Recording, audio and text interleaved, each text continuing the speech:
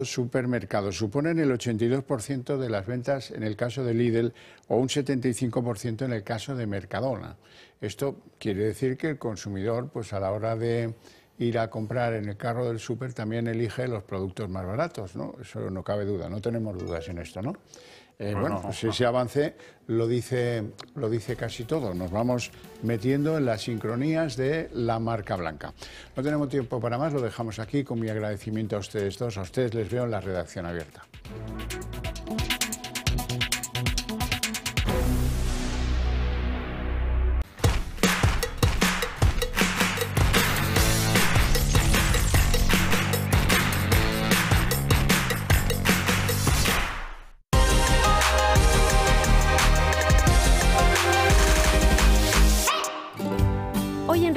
Recomendaciones del Toro les hablamos de Sal y Salud. Nos ofrece un espacio único para el bienestar con la aloterapia. Es una práctica complementaria que se ha convertido en un recurso cada vez más demandado por aquellos que buscan alivio natural en problemas respiratorios, cutáneos, personas sanas y deportistas que desean un cuidado y limpieza de las vías respiratorias. Está basada en el principio de que la sal tiene propiedades antiinflamatorias y antibacterianas naturales. La aloterapia es una opción segura y no invasiva que se adapta a todas las edades, niños y adultos. Tu bienestar de forma natural es el objetivo de Sal y Salud.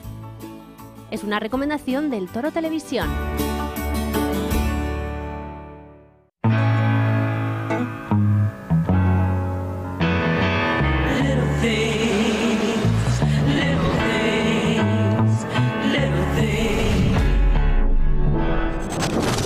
it's the little things that mean an awful lot.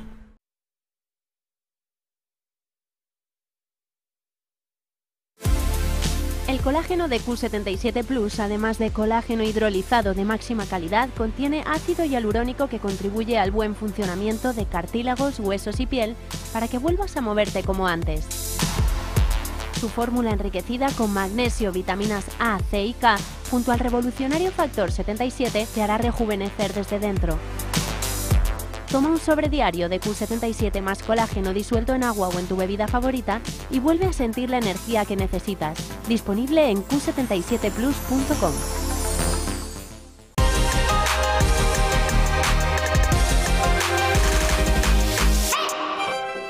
en Recomendaciones del Toro les presentamos la Joyería de María, una empresa que fabrica alta joyería desde 1952. Se ha convertido en la joyería de referencia en Madrid diseñando piezas religiosas de alta calidad. Dispone del santoral completo plasmado en trabajos originales y distinguidos por su delicadeza y originalidad. Collares, cadenas, pendientes y anillos de compromiso forman parte de las colecciones más exquisitas. Fabrica colecciones de forma artesana y rediseña joyas. Además, son expertos en tasación y medallas religiosas. Es una recomendación del Toro Televisión.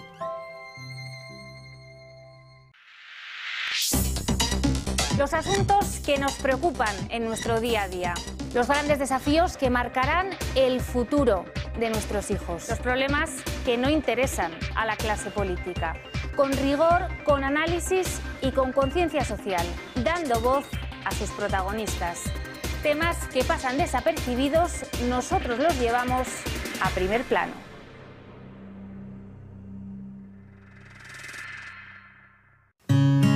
La cocina es un lenguaje mediante el cual se puede expresar armonía, felicidad, belleza, magia, cultura. Si todo esto lo aderezas con el delantal del Toro Televisión, el resultado es perfecto.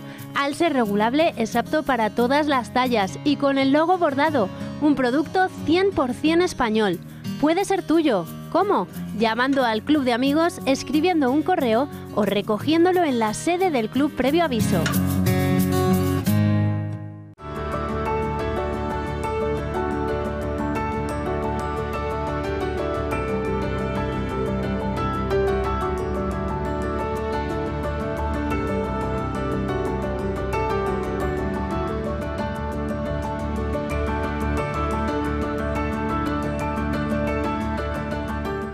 Su carnet de socio del Club de Amigos, tendrá un 10% de descuento en el total de su factura.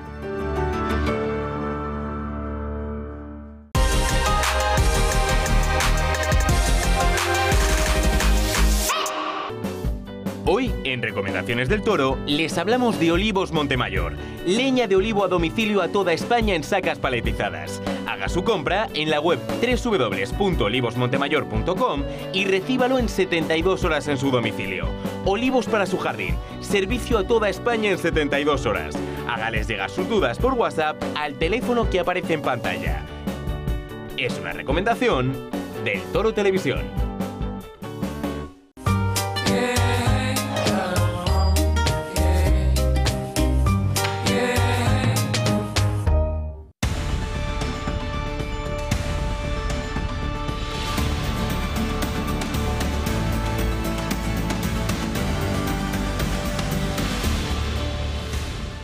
Son las siete y media de la tarde, una hora menos en las Islas Canarias. Sean muy bienvenidos a la redacción abierta en el Toro Televisión, donde ya estamos dispuestos para desgranarles la actualidad del día con rigor, con valentía y aquí van a escuchar siempre opiniones libres. Eso sí, algunas les pueden ser útiles, otras a lo mejor no tanto, pero sepan que son eh, opiniones expresadas en libertad, que es eh, el marco eh, de referencia típico y clásico y que nos caracteriza, el de esta casa. Aquí se hacen las cosas en libertad. Bueno, empezamos por un tema espinoso.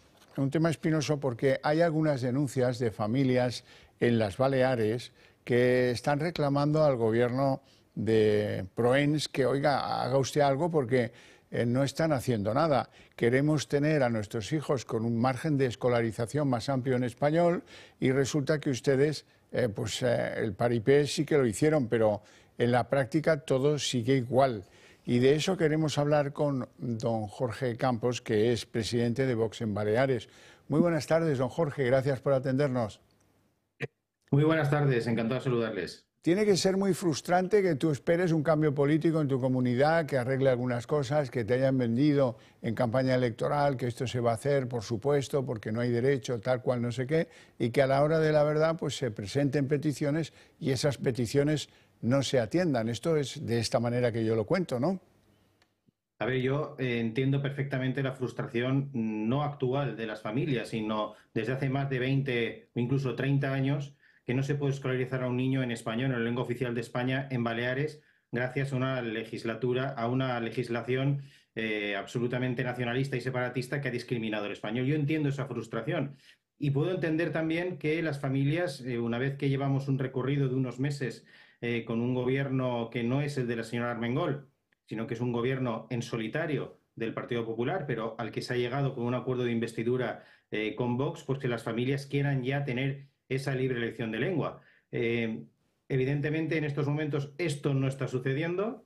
Eh, estamos ante una situación donde además se heredan eh, puestos técnicos de funcionarios que ya estaban en la anterior legislatura, pero que ya hay un acuerdo firmado para que a partir de este curso que viene, estas situaciones que son intolerables, que además yo doy todo el apoyo a esas familias porque llevo más de 20 años luchando por esa libertad lingüística. Es intolerable que por un mísero 25% en español tampoco se permita, ¿no? Pero esa es, esa es la legislación que tenemos actualmente y que tantas veces hemos denunciado. Por eso, ese acuerdo de investidura que se tiene que empezar a aplicar a partir de este próximo curso es el que quiere iniciar que esa libre elección de lengua ya no en porcentajes, sino esa libertad lingüística de verdad, es decir, que los padres puedan elegir la enseñanza, la lengua de enseñanza para sus hijos, sea un hecho y una realidad a partir de este curso que viene. En su opinión, ¿era posible eh, atender a esas demandas expresadas eh, pues desde hace meses eh, y no esperar al siguiente curso cuando tiene que entrar en vigor? ¿Faltan ganas? ¿Qué es lo que está pasando? Mire, eh, le voy a ser muy sincero, que usted sabe que ya nos conocemos muchos años y si algo me caracteriza es la sinceridad. Eh, le puedo asegurar que si en vez de que fuera el PP el que tiene 25 o 26 diputados y Vox que tiene 7, la mayoría absoluta está en 30, si la cosa fuera al revés, es decir, que el Vox tuviera 26 diputados, se habría derogado toda la legislación que impone la lengua catalana a todos los niveles en la educación y la administración pública. Se habría hecho nada más empezar la legislatura. Desgraciadamente no ha sido así. Ha sido fundamental el apoyo de Vox y gracias a ese apoyo de Vox, por el cual no hubiera sido eh, presidenta la señora Porén, se ha podido llegar a un acuerdo de investidura donde se incluye esa libre elección de lengua. Evidentemente al Partido Popular le cuesta, por supuesto que le cuesta mucho, pero ahí está el trabajo del grupo parlamentario de Vox en, en el Parlamento Balear para que ese acuerdo se cumpla. Y le insisto, yo entiendo que le cueste al Partido Popular porque son los causantes en Baleares de la imposición del catalán en todos los niveles, en la enseñanza y en la administración, con esa legislación que han aprobado desde hace más de 20 años. ¿no? O sea, entiendo las reticencias y entiendo que les cueste, pero hay que entender que ahora, gracias a Vox, hay un acuerdo de investidura por el que por primera vez en la historia de la democracia en Baleares se incluye la posibilidad de que los padres puedan elegir libremente la lengua de enseñanza de sus hijos a partir de este próximo curso. Ya me hubiera gustado a mí que esto hubiera sido ya desde este mismo año, o incluso me hubiera gustado a mí que esto hubiera sido antes, hace ya muchos años, cuando esta barbaridad no se debería haber permitido. Esto a Vox sin duda les debe poner un poquito nerviosos porque mm, podría ser el anticipo de un no cumplimiento de ese acuerdo para que el año que viene en los cursos escolares haya por lo menos ese 25% de enseñanza garantizada en español. Bueno, mm, a ver, empezando por el final, es que no se trata del 25% es que el acuerdo que hemos firmado es para libre elección de lengua, es más del 25%. Es que hablar de porcentajes es absurdo. Si hablamos de libertad lingüística, que es un derecho de los ciudadanos, de las familias, hablamos de libertad mm, completa, no en porcentajes. Yo no tengo un, un 33% o un 50% eh, de libertad de expresión, tengo libertad de expresión. Y si tengo libertad para elegir la lengua, que es un derecho fundamental que se respeta en todo el mundo, menos en España, tengo que poder aplicar ese derecho y esa libertad lingüística. Y ese acuerdo habla de libre elección de lengua, no de porcentajes. Por eso nosotros vamos más allá, vamos a que se aplique esa libertad lingüística. Evidentemente, em, hay mecanismos, se tiene que crear una oficina de libertad lingüística precisamente para que vigile estas cuestiones que están pasando ahora en, este colegio de Calviá y no se vuelvan a producir. Eh, hay un presupuesto asignado para que los centros se acojan a la libre elección de lengua y se pueda llevar a cabo. Eh, es un paso lo que hemos conseguido, en una situación donde Vox no tiene la mayoría. Es más, Vox ni gobierna en Baleares, pero se ha hecho un esfuerzo. Y yo insisto, yo creo que el grupo parlamentario eh, de Vox en el Parlamento Balear va a hacer todo lo posible y va a estar vigilante para que esos acuerdos se cumplan y yo confío en que se cumplan, vamos. Claro. Bueno, Proens tiene mucha presión por la parte de la oposición de lo que era antes el gobierno de Francina Armengol, etcétera. Sí, claro. la oposición, el Partido Socialista, eh, Sumar, eh, los separatistas de MES, evidentemente eh, son liberticidas. Lo llevan en el ADN. No quieren ni oír hablar de que se puede escolarizar un niño en español en Baleares y van a hacer todo lo posible. Y por eso ya han acudido al Tribunal Constitucional eh, para echar abajo esa medida que quitaba el requisito del catalán para acceder a la sanidad. Evidentemente ellos van a hacer todo lo posible para que en Baleares eh, no se pueda llevar a cabo esa libertad lingüística, pero hay que atender al mandamiento de los ciudadanos de las últimas elecciones de mayo del año pasado. Y además, si me lo permite, Xavier, eh, esto que está pasando en Baleares, lo que pasa en Cataluña, lo que pasa en Valencia, que se puede solucionar el problema de la falta de libertad lingüística tanto en Valencia como en Baleares, porque hay unos nuevos gobiernos en los que está Vox, porque si no estuviera Vox, el Partido Popular no haría absolutamente nada. Pero esto demuestra que los ciudadanos españoles no pueden estar a la espera de ver quién gobierna en un determinado territorio, o a ver, yo tendré libertad eh, en, Valencia o en Baleares, a lo mejor, según quien gobierne. Bueno, pero si estás en Cataluña ya no tendrás esa libertad lingüística y te pondrán el catalán, que además lo utilizarán como arma de adoctrinamiento. Y yo creo que esto demuestra que aquí la solución tiene que ser nacional, que aquí lo que hay que hacer es aprobar una ley de libertad lingüística a nivel nacional, que es lo que me ha encargado Vox eh, para que lleve a cabo en el Congreso de los Diputados y que se va a hacer por primera vez en la historia, para solucionar este problema en toda España y que no hayan ciudadanos de primera y de segunda según el territorio donde vivan o donde puedan ir a acabar, donde puedan ir a trabajar, porque su empresa o, o su destino como funcionario vaya allí. Entonces, este problema no es un problema solo de Baleares, de Cataluña, de Valencia o de Galicia. Es un problema de España y es un problema que darle solución nacional. Porque, insisto, si no se hubieran utilizado las lenguas regionales como arma de adoctrinamiento separatista, hoy en día este desafío separatista que estamos sufriendo, gracias a Pedro Sánchez, no se estaría viviendo. En el eh, terreno de lo sanitario, hay que señalar que esto de las lenguas ha hecho que eh, pues en algunas islas no haya eh, profesionales del nivel que se requiere porque pues no han sido aceptados por los requerimientos lingüísticos y eso ahora dice usted que está en el constitucional. O sea que va para largo. Eso ha sido recurrido eh, por todos los partidos de la oposición eh, ante el Tribunal Constitucional, pero ojo, ya se ha aprobado. la eliminación del requisito del catalán para acceder a un trabajo en, la sanidad ya se ha aprobado. Yo confío que el Tribunal, bueno, ya no confío viendo en manos de quién está el Tribunal Constitucional, pero vamos, eh, esperemos que eso no sea así y el Tribunal Constitucional no acabe con esas pequeñas libertades que vamos consiguiendo poco a poco en Baleares, insisto, gracias a que está Vox, porque si no, no habría ningún avance en este sentido. Pero siguen habiendo hospitales en los que se requieren profesionales que a lo mejor deciden no querer ir a Menorca, por decir algo, o a Ibiza, ¿no? Sí, claro, hay un problema de personal sanitario en Baleares ya desde hace años. Eh, y ya no solo por la carestía de la vida, por la carestía de la vivienda, sino por el tema lingüístico. Eh, que hay que entender que aquí eh, se primaba más tener un certificado C de catalán que ser un doctor honoris causa por Cambridge en, en medicina. Es que habíamos llegado a este extremo y evidentemente faltan médicos, faltan enfermeros, falta personal, que esperemos que este gobierno de Baleares pues haga los deberes y se ponga manos a la obra para remediar toda esta situación. Jorge Campos, presidente de Vox en Baleares, un placer enorme tenerte en el programa. Te deseo una feliz tarde. Muchas gracias, buenas tardes. Bueno, pues eh, iniciamos el recorrido por las noticias que hoy eh, estamos obligados a conocer. Mm, resultados en Estados Unidos en el pequeño estado de New Hampshire. Victoria entre los republicanos. Estamos hablando de la nominación del candidato de los republicanos a las presidenciales.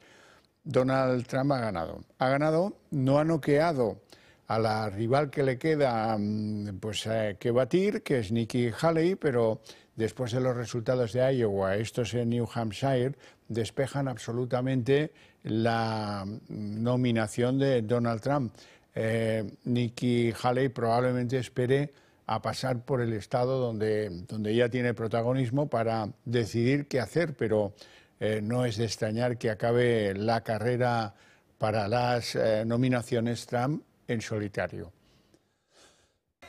El expresidente de Estados Unidos, Donald Trump, ha ganado las primarias republicanas del estado de New Hampshire con un 54,4% de los votos de los ciudadanos vinculados al Partido Republicano, según las proyecciones de medios estadounidenses correspondientes al 71% del escrutinio. Así, Trump se ha hecho con 12 delegados, mientras que por detrás se ha quedado la ex embajadora estadounidense ante la ONU, Nikki Haley, que se ha hecho con el 43,6% de los apoyos y con 9 delegados. Falta un delegado republicano por asignar en este estado. Tras los resultados de las primarias en New Hampshire, el expresidente ha criticado a su rival, la exgobernadora de Carolina del Sur, al afirmar que ha fracasado estrepitosamente tras remarcar que iba a ganar mientras el presidente de Estados Unidos, Joe Biden, ha logrado una amplia victoria en la primera cita de las elecciones primarias del Partido Demócrata celebradas también en New Hampshire. Así, Biden ha conseguido hasta el momento más del 67% de los votos, una gran ventaja respecto al segundo candidato, Tim Phillips, con un 19,6%. ¿Y cómo se lo ha tomado el expresidente Donald Trump? Le vamos a escuchar.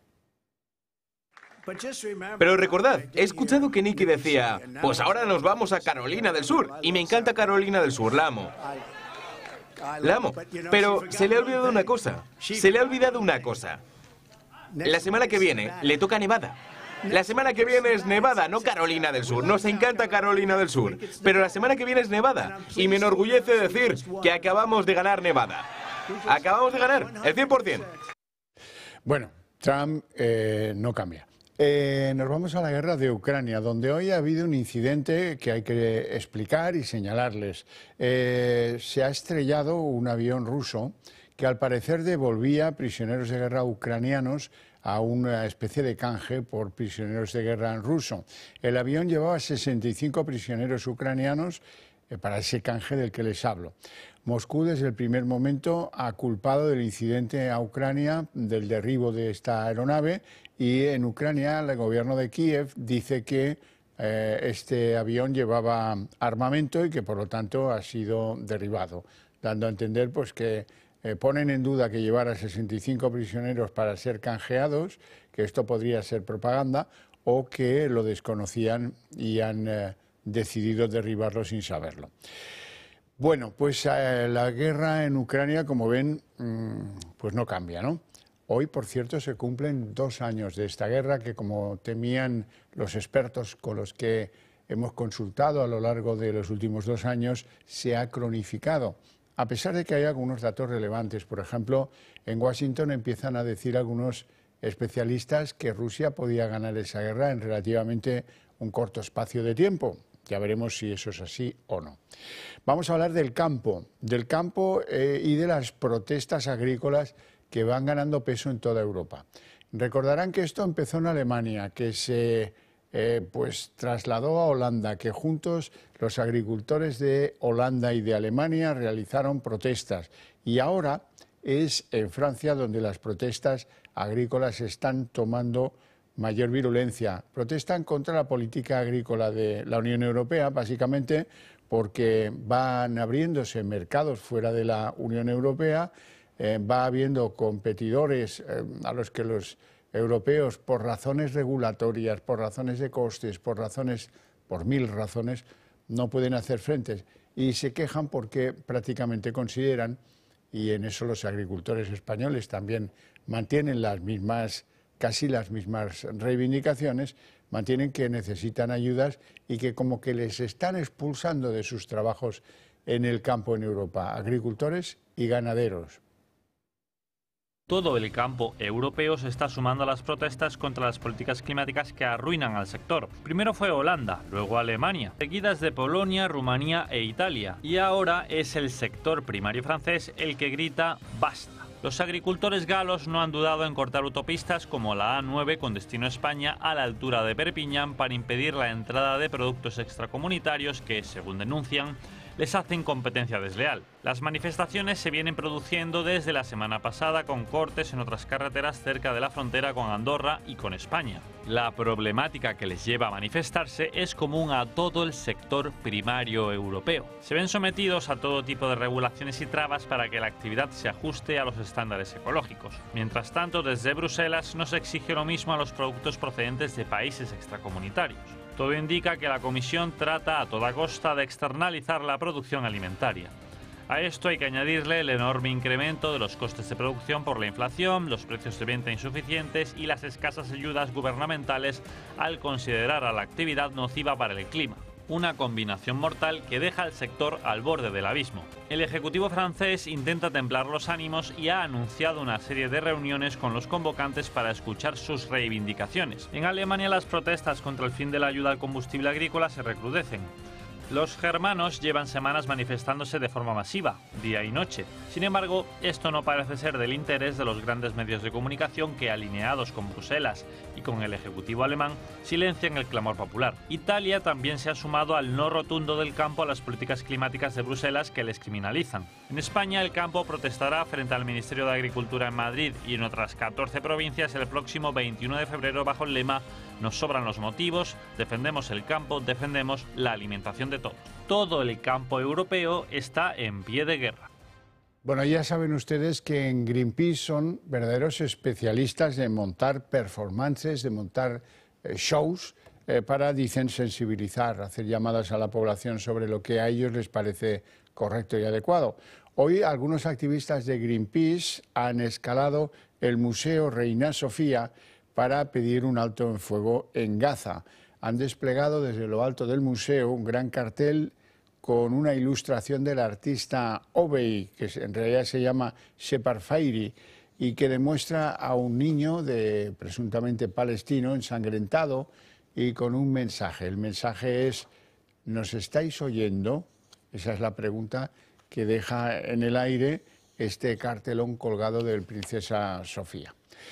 Bueno, y ya saben que sin duda alguna, por activa o por pasiva, eh, la amnistía, el debate sobre la amnistía, eh, pues está produciendo encarnizadas batallas políticas en España, algunas de ellas incluso dentro del PSOE, luego les contaré. Pero es muy relevante lo dicho por una eurodiputada francesa que se llama Laurence Sayet y que pertenece al grupo político de los republicanos. Ella dice está en contra de la amnistía española porque, según dice, oiga, es que esto mm, pues es muy preocupante también para todos los europeos, porque si ahora resulta que los delitos de terrorismo se van a amnistiar, ¿en qué quedan las leyes de Europa? Yo no estoy aquí para empezar a hacer teatro, para insultar a nadie, sino que estoy aquí para decirles que en Francia somos muchos los que estamos preocupados por lo que ocurre en España. Porque no se trata únicamente de una ley de amnistía, se trata de una ley que viene de una negociación política, negociación política para formar gobierno. Y es ahí donde se puede hacer toda la diferencia. Y no piensen que porque estamos en Francia no nos preocupamos de lo que puede pasar con nuestros vecinos y amigos españoles. Si aceptamos en el seno de la Unión Europea que uno de los Estados miembros pueda pisotear así el Estado de Derecho y poner en tela de juicio la democracia, pierde su credibilidad toda la Unión Europea. Tremendo. Bien. Bueno, pero ya saben que estas cosas el gobierno de Pedro Sánchez pues, le resbalan absolutamente. Tenemos un acuerdo ustedes y yo y es que tenemos que poner en serio eh, el combate contra la droga, contra el comercio, el consumo y el negocio del narcotráfico en nuestro país. O de lo contrario, los delitos asociados que lleva aparejo esto de la droga acabarán por socavar los cimientos de esta sociedad. La droga puede comprar muchas voluntades, la droga maneja mucho dinero, la droga capta muchos jóvenes que se dedican a transferir fardos de las lanchas en el sur a escondrijos y a llevarlos en vehículos eh, esquivando la acción de la policía, o en las ciudades pues a tener un narcopiso, dos o tres, en cada uno de los barrios de las grandes ciudades españolas. Eso, dice, hombre, podría perjudicar a la gente joven porque consume ese tipo de sustancias. Sí, eso desde luego, pero este es un problema nacional. ¿Por qué? porque nos afectará la seguridad de todos, estará mm, amenazada por esos grupos de narcotraficantes, muchos de ellos internacionales, que deberíamos preguntarnos por qué han decidido venir a operar desde España, por qué han decidido eh, pues aplicar los beneficios que no son para nada pingües del negocio de las drogas a la compra de valores inmobiliarios o a la compra de cualquier otros instrumentos para blanquear el dinero de la droga les hablo siempre de los delitos conexos. Siempre encontramos armas en los escondrijos que va levantando la policía o la Guardia Civil. Siempre encontramos un montón de vehículos, un montón de lanchas, siempre encontramos un montón de efectivos y sobre todo encontramos una cantidad de drogas absolutamente descomunal. Porque España es el vehículo por el que transitan estas organizaciones de narcotraficantes sus productos hacia toda Europa. Hoy les traigo dos ejemplos. En primer lugar, uno del menudeo, ¿verdad? Del menudeo, pero que tiene su gracia. En el barrio madrileño de Hortaleza se han producido nueve detenciones porque había algunos que se dedicaban a repartir drogas en patinetes o mediante patinetes eléctricos. Esta era la central desde la cual se distribuían esas drogas. ¿eh? Que llegaban al, pues, al, que las encargaba y al que las compraba eh, mediante esta cosa de los patinetes eléctricos que eran un servicio casi casi de reparto a domicilio de la droga. Y en segundo lugar, quiero que vayamos a Valencia, Sueca en concreto, que es el punto más relevante en el que eh, pues se ha levantado un laboratorio de éxtasis eh, de los más grandes que se han conocido nunca. Hay 12 detenidos, han incautado 1.900 litros de una especie de sustancia llamada cristal anfetamínico o MDNA, eh, que está valorado, y aquí viene donde nos podemos tentar la ropa, lo que han encontrado en este laboratorio vale 105 millones de euros. 105 millones de euros. Tremendo, como para dejarlo pasar. Esto no podemos seguir pues, pensando que esto no nos afecta, que esto a los partidos políticos no les afecta. Tenemos que tomar partido. Y es el momento de hacerlo, porque a veces hay países que se han decantado por esta eh, caída en el tema de la droga y luego no han podido remontar, porque se va apropiando de cosas, de, instrumentos, eh, va haciendo eh, cada vez más difícil el combate contra la droga y a lo mejor tenemos que hacer cambios legales y a lo mejor tenemos que hacer cambios eh, y dirigir mejor la lucha contra la droga porque desde luego la manera no es la mejor. Cada vez tenemos más, pues eh, oiga, esto sí que es indudable. No niego los esfuerzos de unos y de otros, pero eh, algo estamos haciendo mal con esto y hay que corregirlo cuanto antes. Y en los partidos políticos tienen que entender que este también es su problema y tienen que tomar cartas en el asunto y hacer, eh, pues eso, propuestas que la sociedad española pueda apoyar. Nos vamos a ir a publicidad y volvemos dentro de unos minutos tan solo.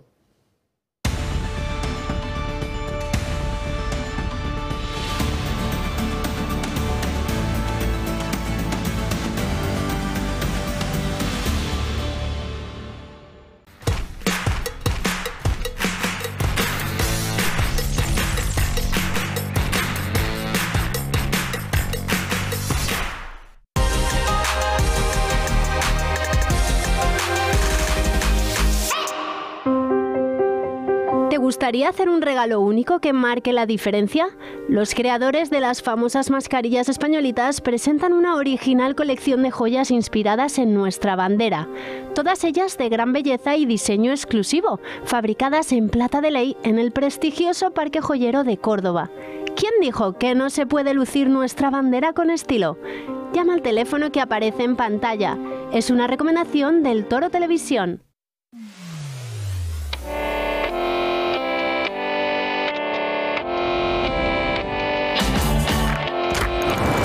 Style is the bomb, the bomb, the dang, the dang, diggy, diggy. Play music.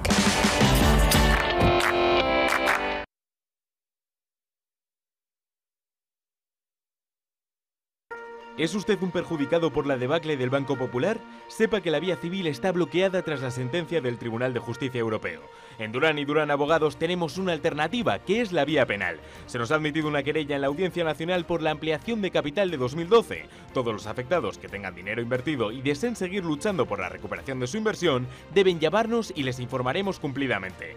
Llámenos al teléfono gratuito 983 3020 y le ayudaremos. O entre en nuestra página web www.duranyduranabogados.com, que aún hay mucho partido por jugar.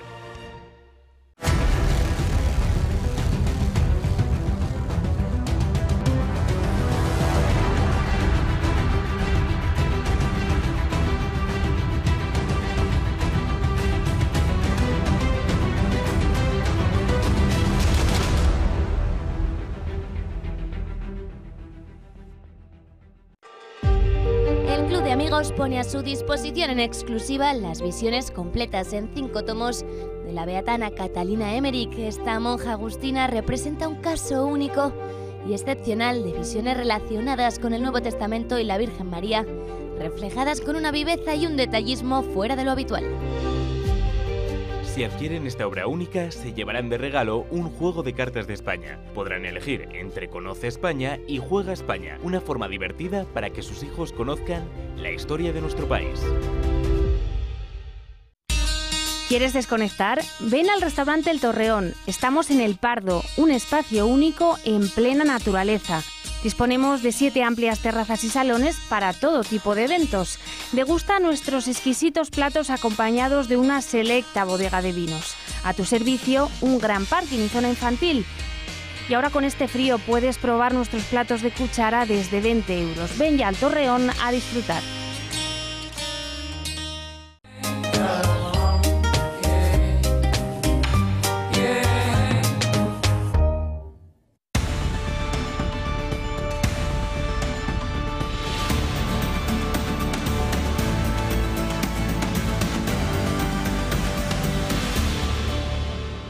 Quiero apelar a su sensibilidad para con nosotros, para con esta cadena que han elegido para informarse, para entretenerse, para formar opinión sobre las cosas. Bueno, pues para todos la cuesta de enero es la cuesta de enero. Y yo les quiero hacer una apelación a que eh, pues, eh, estudien, valoren y hagan alguna donación a esta casa. ¿Cómo? Muy fácil. Hagan una foto a estos números que aparecen ahora en pantalla, que son los números de cuenta, elijan el banco que ustedes prefieran y háganos una donación que se la grabamos, se la vamos a agradecer muchísimo. Y en segundo lugar, algo muy importante, resulta que estas donaciones son desgravables, ¿ustedes lo saben? No, pues ya se lo digo yo.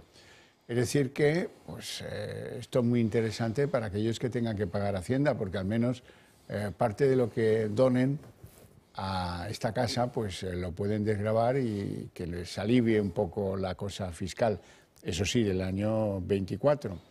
Eh, bueno, pues eh, les cuento, el Club de Amigos, además de pedirles esas donaciones como yo mismo, les cuento, resulta que tenía, tienen previsto una visita a la Real Fábrica de Tapices el día 31 de enero, que como ha tenido tanto éxito la convocatoria, la van a reproducir el día 29 de febrero, lunes, porque ha habido mucha gente que había números clausus. Y, eh, ah, de enero, día 29 de enero, o sea, dos días antes. Bueno, pues eso, el día 29 de enero y el día 31 de enero hay visitas programadas a la Real Fábrica de Tapices para que nadie se quede sin verla porque es una maravilla. Eso sí, llamen cuanto antes y reserven su plaza.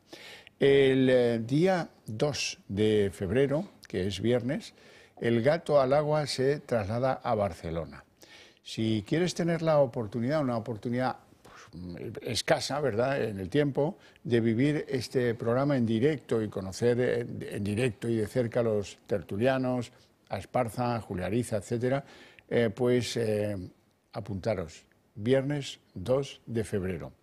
¿Cómo hay que hacer? Pues hay que informarse y reservar plaza cuanto antes porque estoy convencido de que se va a llenar. El auditorio se va a llenar seguro. Eh, hablarles también de que Alberto Ibáñez presentará su último libro, Sacro Imperio Romano, en el Club de Amigos el miércoles 7 de febrero a las 7 de la tarde. El día 9 de febrero nos acercaremos al Teatro Real para recorrer sus estancias y conocer cómo funciona eh, pues un edificio, un teatro de ópera que es una referencia dentro del mundo de la música en España. El 14 de febrero retomaremos la serie de paseos por Madrid con una visita al Madrid de los Borbones y durante el, eh, club de, durante el mes de febrero el Club de Amigos seguirá pues, con sus actividades, entre las cuales habrá eh, pues, una visita a la iglesia de Santa Bárbara o al Palacio de Buenavista, de la cual ya les iremos aportando mayor información. Bueno, hoy se han cumplido 15 años desde la desaparición de la joven sevillana Marta del Castillo. Eh, hay un asesino confeso, eso es verdad, eh, Miguel Carcaño, se acordarán. Hoy se han concentrado la familia y los amigos y los vecinos y los apoyos que tiene la familia en Sevilla ante la audiencia de la capital hispalense para pedir que se repita el juicio por la muerte de la joven. Este miércoles se cumplen 15 años de la desaparición de Marta del Castillo. En su recuerdo se ha llevado a cabo una manifestación frente a la audiencia de Sevilla y en ella se ha pedido que se repita el juicio por su muerte.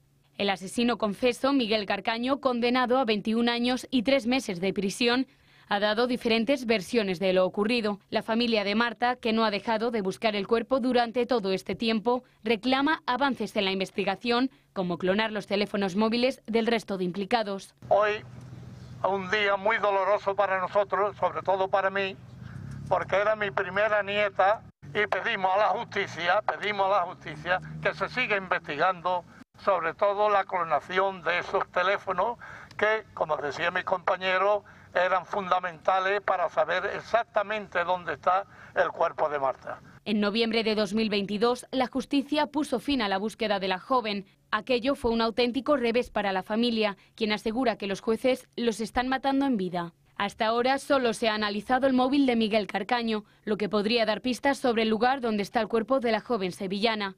En él se detectan posiciones no incluidas en la investigación. Sin embargo, los resultados no han sido concluyentes. En cualquier caso, la investigación ha avanzado en los últimos meses y el informe pericial que tiene en sus manos la policía señala hasta seis nuevos posicionamientos del móvil de Miguel Carcaño. En él se señala desde el cementerio de Sevilla hasta Camas, pasando por dos hermanas. En 2030, Miguel Carcaño saldrá de prisión. Es por ello que la familia de Marta pide que se analicen el resto de teléfonos móviles por si hubiera coincidencia en la localización de todos ellos. La familia de la joven sevillana se aferra a esta última esperanza mientras lucha cada día por mantener vivo su recuerdo. Bueno, ya saben que el gran éxito del gobierno, el reciente, no dejando la amnistía como el gran éxito del cual hablaremos dentro de un ratito, muy poquito rato, eh, es esto de la tarjeta a monedero que le van a repartir a las familias con hijos que, fin, que, que están en dificultad. Algo que para muchos supone la cartilla de racionamiento, pero sin que se sepa. ¿Cuántas veces han escuchado que España va camino de Venezuela? Lo que antes era un dicho con tono irónico, ahora se está convirtiendo en una realidad. Y es que parece que esta última semana el Gobierno se ha propuesto aprobar medidas, cada cual más polémica. El ministro de Derechos Sociales, Pablo Bustinduy, ha anunciado la aprobación de un nuevo modelo de tarjetas monedero. Por el que se va a facilitar a las familias vulnerables unas tarjetas monedero o vales canjeables por productos de alimentación y otros productos de primera necesidad, como los productos de higiene. Em, en lo que será un modelo menos estigmatizante. El gobierno progresista lo llama tarjetas monedero. Parte de la sociedad prefiere llamarlo tarjetas de racionamiento. El Ejecutivo sustituirá las cestas de alimentos que hasta ahora se han repartido para las familias en pobreza severa. Prevén llegar a partir del próximo mes de abril a casi 70.000 familias mediante esta medida una medida que se articulará a través de la Cruz Roja con fondos europeos y a partir de 2025 tendrán que gestionarlo cada comunidad autónoma. El importe máximo de esta subvención es de 100 millones, de los cuales 95 millones y medio irán destinados a los gastos en alimentos y el resto en gastos técnicos. Esto es lo que dice el Consejo de Ministros, pero como hemos comprobado en otras ocasiones, la realidad de Moncloa no es la realidad de la calle.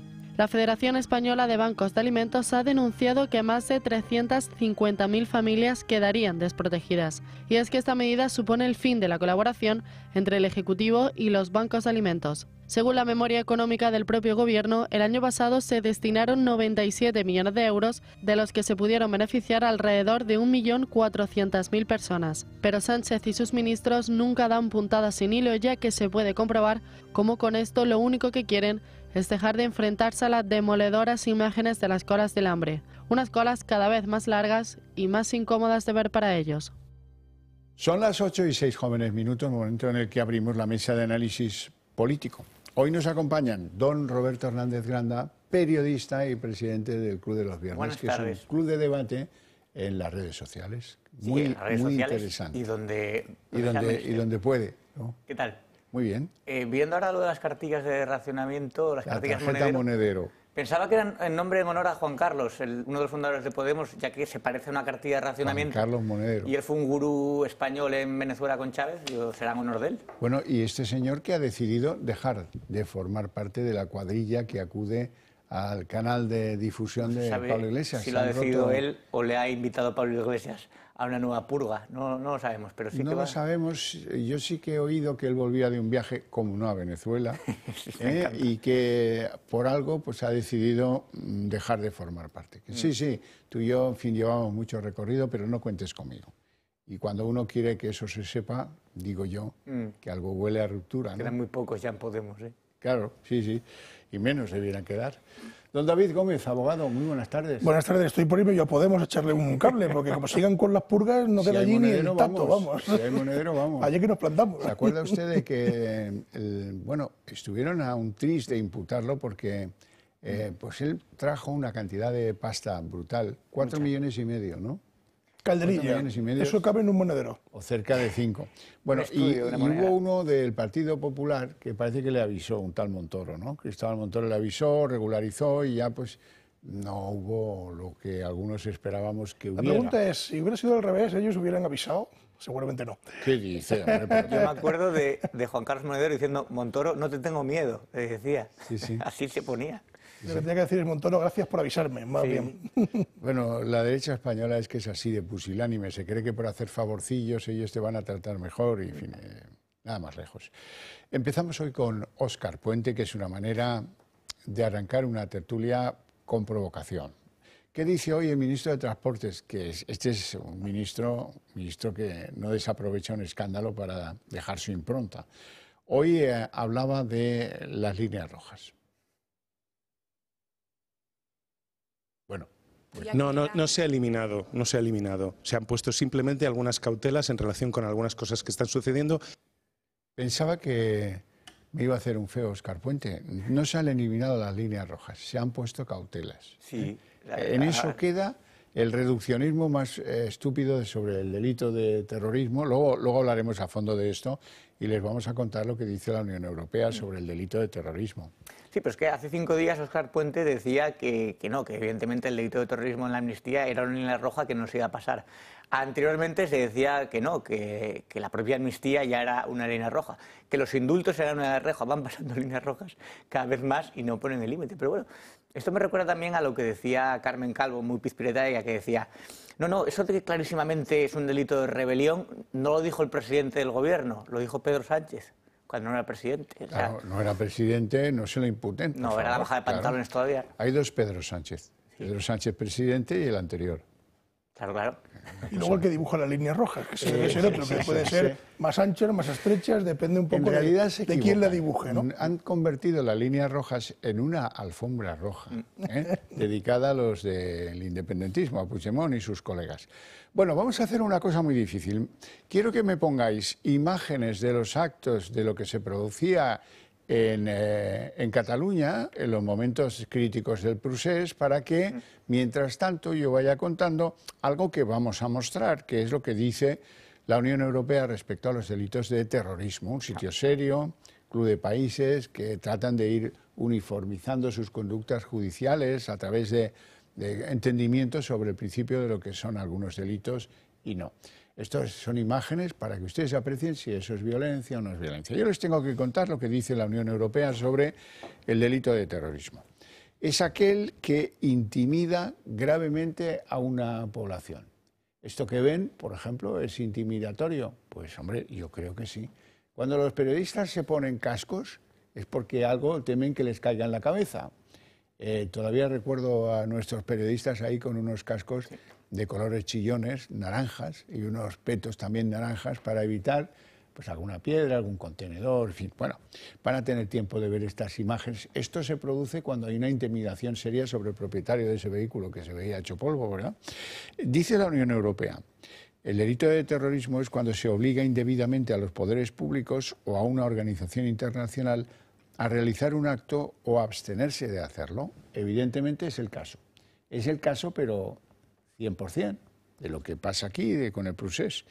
Dice la Unión Europea, el delito de terrorismo es cuando se trata de desestabilizar gravemente o destruir las estructuras políticas, constitucionales, económicas o sociales fundamentales de un país o de una organización internacional. Ahí tienen el texto. Yo creo que con las imágenes ha quedado perfectamente nítido, claro y cristalino que ahí hubo terrorismo. ¿no?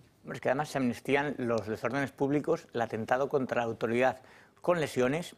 Hay un policía que se tuvo que jubilar con un traumatismo sí. craneoencefálico, con 41 años. A ese hombre le van a decir que lo que le han hecho no fue un atentado terrorista. Y hay un francés que se murió de un infarto en el aeropuerto cuando los tenían bloqueados allí. Claro, lo que se trata es de limpiar a los CDR y a Tsunami Democratic, que son grupos de presión que cortan autopistas, pero que además han atentado, evidentemente, contra la autoridad y los quieren dejar de alguna manera para que también cuando vuelvan, porque luego hay otra enmienda que apela directamente a los jueces, para que los jueces no puedan detener, si es que vuelvan a España cuando la ley se apruebe, ni a Marta Rovira, ni a Carlos Puigdemont, queden totalmente inmaculados. Esta es otra línea roja que nunca se iba a pasar, que se ha pasado, que es una bajada de pantalones de Sánchez, que es capaz, por, por, por siete votos, lo que está costando. Sí, que además supone interiorizar eso de que hubo lawfare, o sea que los, uh, algunos magistrados perseguían a los independentistas porque no compartían sus líneas políticas en... Pues yo creo que, que eso no es, no es, cierto, ¿no? porque la, justicia al final lo que tiene que ser es independiente y lo es. Es decir, eh, bueno, ellos podrán decir que hubo lawfare, pero desde luego no lo, no lo ha habido. Ahora bien, eh, ¿Es terrorismo? Para mí sí es terrorismo. Es decir, otra cosa es que intentemos desmontar todo el código penal para que este señor sea presidente del gobierno, que es lo que está haciendo en este momento Pedro Sánchez ¿no? en esas sesiones. Hay que recordarle a este señor una y mil veces por minuto que ha perdido las elecciones, que los españoles no le querían en el puesto de presidente del gobierno, porque parece que no lo ha entendido, no ha entendido el mensaje. Es decir, usted no ha recibido la mayoría. Entonces, eh, como usted es un gran perdedor que está dirigiendo un gobierno, está intentando pactar con vivos y muertos eh, todo aquello que decía no pactar. ¿no? Y ahora lo último es ya, mm, bueno, eliminar el delito de terrorismo, que yo espero y deseo que algún juez, eh, no sé si español o de, la Unión Europea, eh, o alguien eh, le ponga mm, manos en pared a este asunto y diga, oiga, ¿usted qué, va a hacer? ¿Va, ¿Va, a desmontar el Estado de Derecho español única y exclusivamente para gobernar cuatro años a base de cesiones? Porque lo que están haciendo con él, que él se deja no deja de ser de terrorismo democrático, es decir, mm. un señor que está sometido permanentemente al chantaje de un grupo de personas que, lo que hacen es desmontar el Estado vía eh, concesiones políticas. Entonces, bueno, como a él le va bien, porque él es el presidente del gobierno, es el más guapo y el más listo, y el que ha, hecho las mejores cuestiones democráticas en este país, pues, pues bueno, es que encima se lo cree, encima se lo cree, pero hay que repetirle una y mil veces, oiga, usted ha perdido las elecciones, o sea, deje de inventar ha perdido las elecciones, los españoles le mandaron a su casa. Y si no ha entendido el mensaje, se lo repetimos dos veces. Es decir, ha quedado usted segundo en unas elecciones. Esto ocurre pues porque no tenemos un sistema de segunda vuelta. Si hubiéramos tenido un sistema de segunda vuelta y en vez de decir eh, la, confianza de la Cámara se le otorga al candidato no sé quién, no, no, perdone, la confianza de los españoles se le otorga al candidato en segunda vuelta. Nada de Cámara, sino de los españoles. Nos ahorraríamos toda esta historia y que solos se quedan aquellos que han luchado contra el nacionalismo, el coraje, ¿no? Por eso desde aquí también mandar un, abrazo a Shacabat, a Sociedad Civil Catalana, aquellos que han sufrido ah, y han luchado contra el golpismo y han sufrido también las bestialidades del nacionalismo. porque Se han enfrentado a ellos y se dan cuenta que les están amnistiando y los están dejando totalmente impunes. Fíjate, Roberto, he mencionado antes eh, a los policías eh, que, que, han ocurrido, ¿no? Pero yo recuerdo, y esa imagen la hemos dado aquí en esta casa. Piolín, ¿te a los del piolín. Me acuerdo del piolín, pero recuerdo que este, esa imagen la hemos dado en esta casa mm. eh, muchas veces a la secretaria judicial saliendo por un tejado. Sí, sí. O sea, saliendo por un tejado. Toda una secretaria, una, letrada ahora de la Administración de Justicia, escoltada y sacada por un tejado. seis horas de bloqueo con unos tíos que se subían a los coches de la Guardia Civil, que robaron la munición que había en los coches, ¿eh? que apareció luego misteriosamente en un parque en Montjuic. Bueno, todo eso, si es que recordarlo eh, es, bastante ofensivo. Pensábamos que lo podríamos olvidar, pero no, no, hay que recordarlo, claro que hay que recordarlo. Porque luego vienen los terminales del gobierno, entre ellos el, el monaguillo Félix Bolaños, y da sus explicaciones a las cosas, ¿no? Hombre, esto no es serio, hablar cómo los independentistas eh, se les puede tildar de, ser terroristas, se pregunta más o menos eh, de una manera un poquito más artera seamos serios. ¿De verdad alguien cree que es comparable el proceso independentista con el terrorismo que sufrió España durante décadas? ¿De verdad alguien lo cree?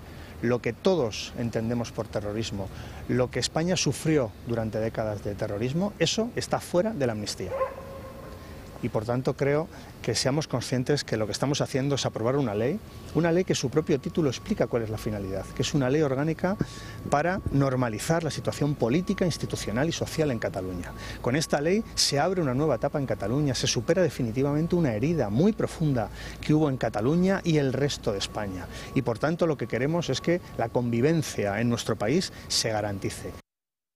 Precisiones, Bolaños no hubo una diferencia entre Cataluña y el resto de España. Hubo una diferencia entre una mayoría política de Cataluña y el Estado. ¿eh? Eh, a los españoles no nos metan gaitas, no. Y a los catalanes, cuidadito, porque la mayoría social en Cataluña, en ese momento y ahora, está en contra del referéndum que les imponían sus autoridades. Ahora, si nos, somos serios de verdad. ¿A alguien se le ocurriría, dice Bolaños, comparar lo que pasó en el Prusés con CDRs, con Tsunamis Democratics y tal, y apreteu, apreteu y tal, eh, con lo que pasó con ETA y con el Grapo. No, bueno, vamos a ver. ¿Puedo repreguntar, Bolaños? Eh, ¿Es lo mismo una malversación de fondos de 100.000 euros que una de un millón, o una de 100 millones, o una de mil millones? Sí, es una malversación de fondos. ¿Aquí hay un delito de terrorismo? Pues hombre, según lo que dice la Unión Europea, que hemos estado leyendo, parece que sí. La gravedad de ese delito de terrorismo, el resultado de la sangre o no sangre o lo que sea, pues bien, pero no es, eso no sirve para decir que aquello que pasó en el Prusés no fuera terrorismo. Por supuesto que no. Es que, es que, es que eh, lo fue, repito, si hemos puesto ejemplos miles, eh, fue mm, intentar llegar por las armas, entre comillas, eh, a las coacciones, presiones y desde luego ya al desorden público más vivo. Es decir, eh, eh, es que eso fue así. la intimidación Pero es que además de- me da mucho miedo cuando dice, bueno, esto no tiene nada que ver con el terrorismo mm, de ETA y tal. Me, me da mucho miedo porque ya se están frotando las manos los, eh, eh, los independentistas en el País Vasco. Ahora amnistía decir, para ellos. Claro, es, decir, eh, es que, mm, oiga, ¿cómo que no es lo mismo? Es que con estas cosas no se puede jugar, el terrorismo es terrorismo, punto.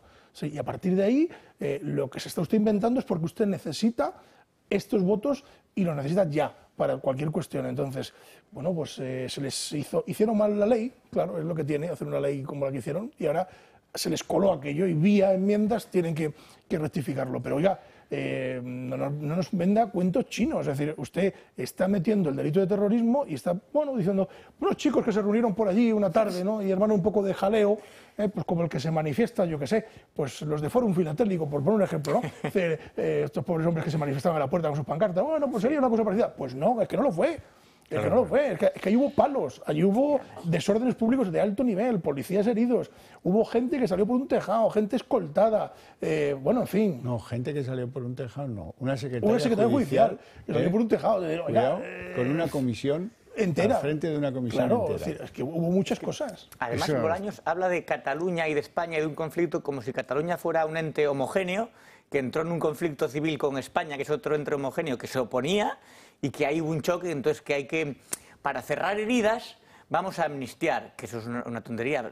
es como si te dicen, bueno, para cerrar las heridas de Alemania, en vez del juicio de Nuremberg, les vamos a amnistiar a todos, hacemos borrón y cuenta nueva y que se vayan todos a su casa. ¿no? Entonces, es que cuando han utilizado además la palabra terrorismo para absolutamente todo, han hablado de terrorismo climático. Los de Podemos y, y todas sus corrientes mediáticas han hablado de terrorismo machista eh, con unas voces en un colegio mayor. Decían terrorismo machista. Hablan de terrorismo homófobo cuando el bulo del culo. Han utilizado con tanta ligereza el término terrorismo que ahora cuando hay un terrorismo real, entonces te dicen que no, que, que hay que ser cautela, que hay que, hay que poner matices. Vamos a ver, o sea... No matices ninguno. Claro. Matices ninguno. Ninguno porque el terrorismo es terrorismo. Punto. Es decir, eh, nos lo están vistiendo con las líneas rojas, ¿no? O sea, ya no nos creemos nada de las líneas rojas, porque las líneas rojas que esta gente tiene son líneas verdes, que pueden cruzar en cualquier momento cuando le dé la gana. Entonces, eh, bueno, pues estamos viendo cómo se desguaza el conjunto del Estado en favor de la ambición personal de un señor que ha perdido las elecciones. Pero además, yo creo que este está poniendo, está preparando el terreno para amnistiar a los terroristas de ETA, que es el siguiente paso, porque lo, sa- lo sabemos llegar, los vemos dos, dos pasos por delante. Esto sabemos ya lo que va a ocurrir y casi nunca nos equivocamos. Acabarán diciendo, bueno, que el atentado de Hipercor, la culpa fue la policía por no hacer caso a la llamada, que los ETA defendieron los derechos humanos, e igual que dijo Pedro Sánchez, por España, amnistía sí, acabará diciendo, bueno, por la convivencia en el País Vasco, eh, amnistía a los presos y chapote a su casa. Y pasará, es trágico y parece muy exagerado, pero es muy posible. Iremos a eso más adelante, pero es que ni siquiera con esto se conforman los independentistas, no las tienen todas consigo. Hoy Gonzalo Boyé ha presentado un escrito para mm, tratar de encallar definitivamente la causa contra Puigdemont eh, eh, que llevaba García Castellón. Dice que es que se pasó unos días a la hora de pedir la extensión de la instrucción sumarial, que tiene unos plazos, y según dice Gonzalo Boyé, este, el abogado de Puigdemont y de otros, eh, pues el instructor se pasó unos días y por lo tanto lo que procede es enterrar la causa esta que tanto miedo está causando en esas filas. Pausa para la publicidad, volvemos en apenas unos minutos y continuamos.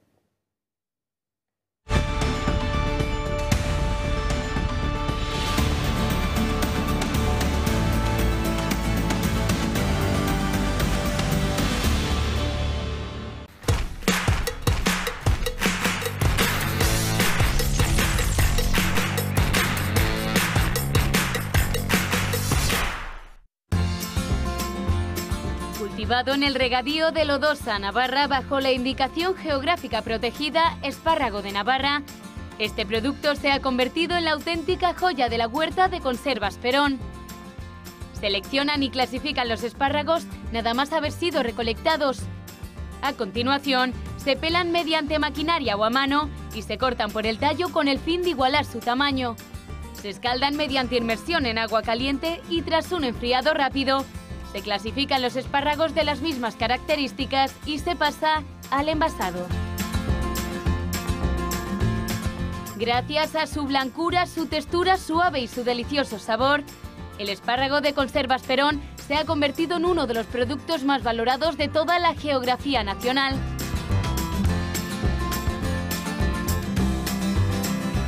Llame al 948 69 3401 o entre en su página web www.conservasperón.com.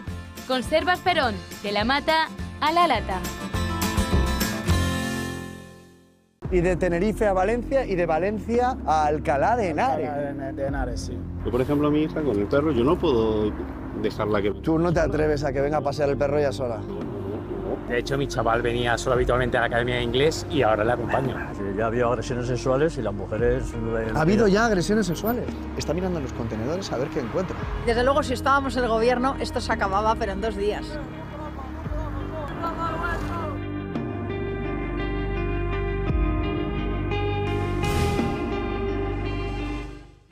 Desde 1958, la marisquería Rafa en Madrid se ha caracterizado por la primera calidad de sus productos, entre los que puede encontrar guisos, carnes de primera calidad, pescados y los mejores mariscos de nuestras costas. Todo elaborado a base de recetas tradicionales. Podrá disfrutar de sus deliciosos platos en la barra, en su preciosa terraza o en alguno de sus salones privados. Le esperamos en Rafa, calle Narváez 68. No se pierda los sabores de la buena cocina.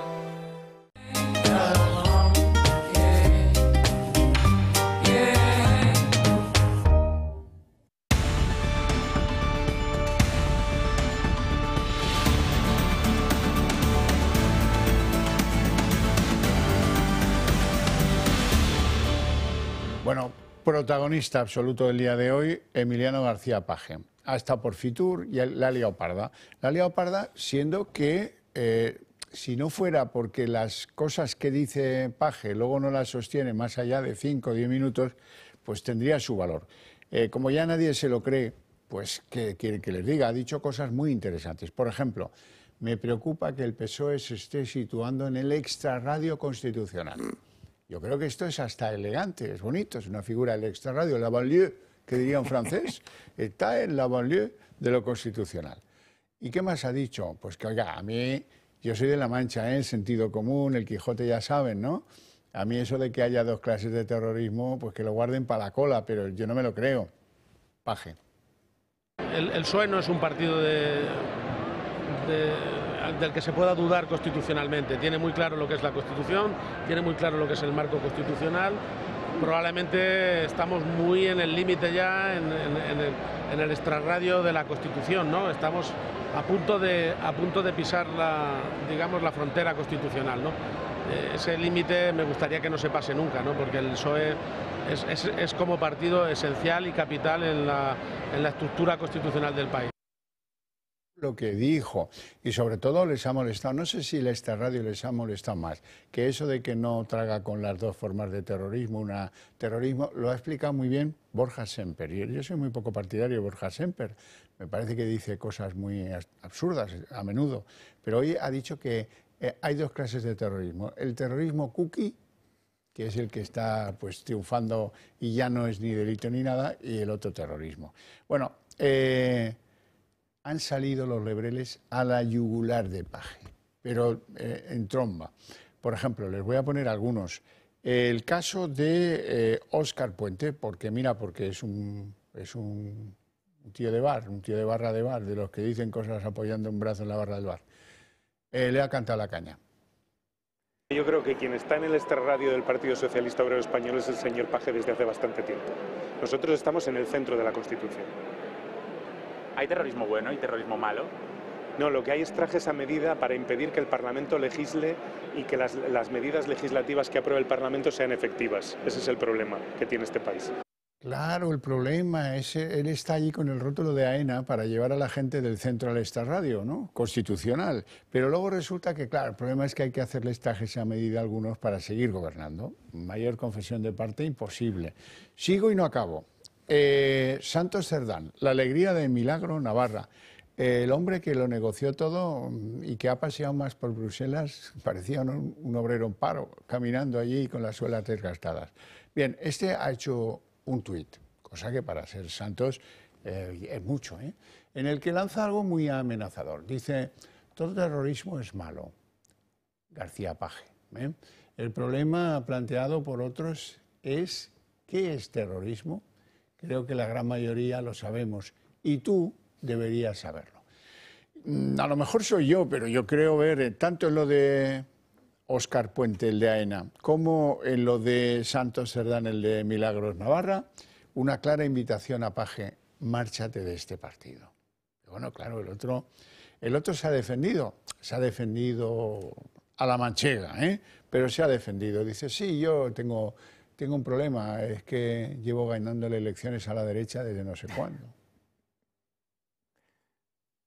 Toda mi vida me la he pasado ganando al Partido Popular y a la derecha en las elecciones. Me importaría que todos los demás hicieran lo mismo, ganar al PP. O sea, ahora por de Bélgica, ya que O sea, el que gana, el que gana, la, el que gana a la derecha, la extrema derecha en este país, ¿eh? no está en ningún extrarradio. Incluido el señor Sánchez, entonces. Yo gano a las elecciones y a lo que me dedico. A ver si voy a tener que pedir disculpas por ganar las elecciones. Ahí terminarás. Tú tienes la opción, ¿eh? Ya sabes, te marchas como un señor. Sí, vamos a ver, vamos a ver, Emiliano. Si tú sabes que no te querían, que te han respetado al frente del PSOE en tu comunidad autónoma porque ganaste las elecciones. Si estaba ahí Isabel Rodríguez, sacada de Puerto Llano, hecha portavoz del gobierno para sustituirte. Sabes que no tienes futuro con Sánchez en el partido, o le, o le plantas cara, dentro o fuera, o le plantas cara, o al final cuando termine la legislatura que has ganado por mayoría absoluta, y esto hay que reconocerlo, tu vida política se ha terminado. Juégatela. Dice que, que del PSOE no se puede dudar, pero si el que más duda es él, es el que más duda de su propio partido, porque está todo el Lo rato... ha puesto en el extrarradio. Claro, lo ha puesto en el extrarradio, pero yo creo que Paje tiene un poco el síndrome de la mujer maltratada, que es que se queja mucho, mucho, mucho, pero luego él vuelve, no termina... Y le perdona. Claro, no termina de romper relaciones del todo. Dice él que él ha ganado elecciones, claro.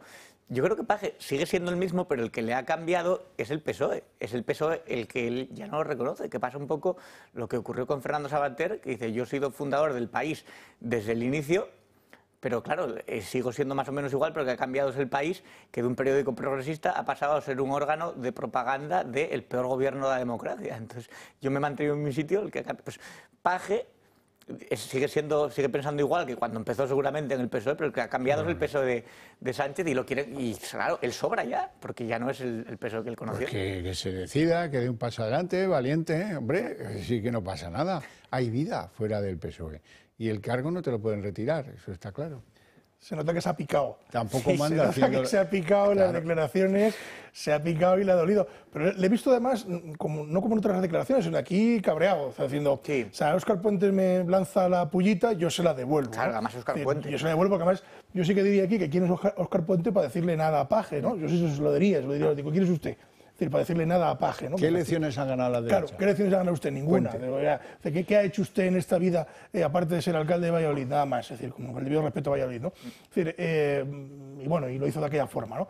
Entonces, eh, bueno, lo primero, ¿quién es usted para decirle nada a Paje? Y Paje podrá decir lo que le dé la gana, ¿no? Que es lo que hace habitualmente, aunque sí que es cierto que luego eh, se le va callando la boquita y se le va cerrando y cambia el discurso. Eso es verdad. Pero bueno, de momento suelta la patada y la deja ahí.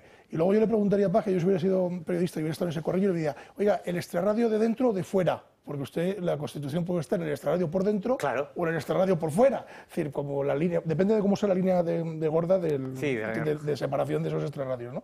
Yo se hubiera preguntado. Es decir, pero claro, eh, ha dicho una verdad como un puño, es, es cierto. La otra cosa es que luego se vaya desinflando y que desde el PSOE les autoricen, que es lo que hacen, ¿no? Intentar desautorizarle. Pero- bueno, interesante, no me... pero me, hace mucha gracia eh, que se peguen entre ellos, porque durante muchos años hemos visto a la derecha cómo se pegaban entre ellos, unos por un lado, otro por otro, se decía, se tal. Y ahora, bueno, es, da juego, da juego. Bueno, pero fíjate, cuando el mismo día, esto lo digo yo muchas veces, hoy ha vuelto a pasar, cuando el mismo día gente de diferentes extracciones culturales, humanas, provincias, lo que quieran, como Óscar Puente, Bolaños y tres o cuatro ministros más del gobierno, coinciden en el uso de la expresión. Lo que pasa es que se han puesto cautelas al delito del terrorismo. Es que alguien ha escrito una cosa que se llama argumentario a las 7 de la mañana, la ha enviado a estos llamados varones eh, que nunca improvisan nada, se la han leído y luego la han interpretado en esa frase que hemos oído antes de Oscar Puente. Las líneas rojas siguen porque se han puesto cautelas. Un- Ya está. ya os hemos pillado. Hay un feliz hallazgo de término que se llama equipo de opinión sincronizada, que no sé si ha surgido en Internet por varios periodistas díscolos, que es que todos llevan el mismo argumentario a rajatabla, los políticos y los periodistas afines. Y ya sabes lo que van a decir, lo que van a pensar incluso antes de empezar a leer el artículo o el tuit o escuchar la declaración. Todos a una. Se, se emite una orden ¿no? y de repente pues esto de con cautela, como cuando se decía la amnistía no va a ser posible y luego de repente sí era posible, en la SER, en el país, en el PSOE, ¿no? opinión sincronizada. Sí, sí, sí, es verdad. Bueno, y en el gobierno están en la tesis, ya veremos, de que, hombre, esta cesión en lo de la concepción del delito de terrorismo y en diferentes cosas más de la ley de amnistía va a abrir, a allanar el camino para la discusión de los presupuestos que va a empezar muy breve plazo. Eso es lo que dicen algunos, pero ya veremos si pasa o si no pasa. Y hoy en el mundo judicial de fin que don David Gómez conoce también, se ha producido la posesión, la toma de posesión de uno que repite como fiscal general del Estado. Se trata de Álvaro García Ortiz, que entre dimes y diretes sobre si eh, su idoneidad, lo recordarán, eh, pues eh, sigue saltando de un charco a otro porque se lo mandan. Este sí que está claro que es porque se lo mandan. Si acaso ha llamado la atención y mucho que el señor, el flamante fiscal general del Estado, que tiene que conciliar aquello de que piensa su su gran prócer, dice Sánchez, ¿y ¿quién manda la Fiscalía? ¿No?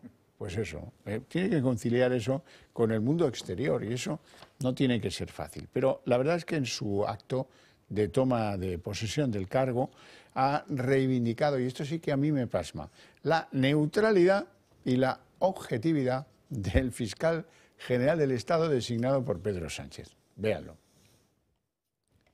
El fiscal general del Estado, Álvaro García Ortiz, ha tomado posesión del cargo en el Tribunal Supremo tras ser confirmada su continuidad por el Gobierno, que define su trayectoria como impecable. En su discurso, Ortiz ha incidido en la neutralidad de la Fiscalía. Quiero reivindicar hoy aquí la neutralidad y objetividad de la figura del fiscal general del Estado. Sin embargo, sus actuaciones al frente del Ministerio Fiscal distan mucho de dicha imparcialidad. El rechazo a García Ortiz es casi generalizado por su connivencia con el Gobierno. Recordemos que era la mano derecha de la entonces fiscal general, Dolores Delgado. La exministra socialista presentó su dimisión y dejó a Ortiz al cargo. Este, poco después de acceder a su nuevo puesto, ascendió Delgado a fiscal de sala, de la Sala de lo Militar del Supremo. El criterio de la mayoría del Consejo Fiscal era contrario, pues el exteniente fiscal del Tribunal de Cuentas, Luis Rueda, experto en derecho militar, era el mejor candidato.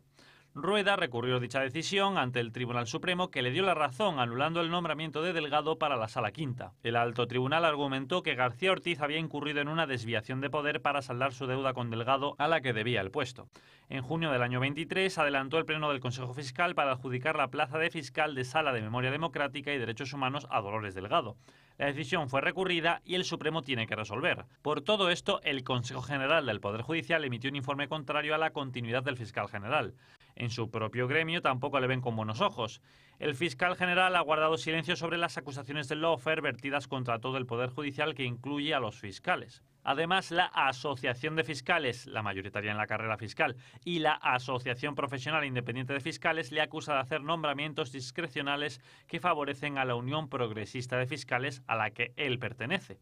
De los 17 ascensos a fiscal de sala en la época de Delgado y Ortiz, 14 pertenecen a la Unión Progresista de Fiscales.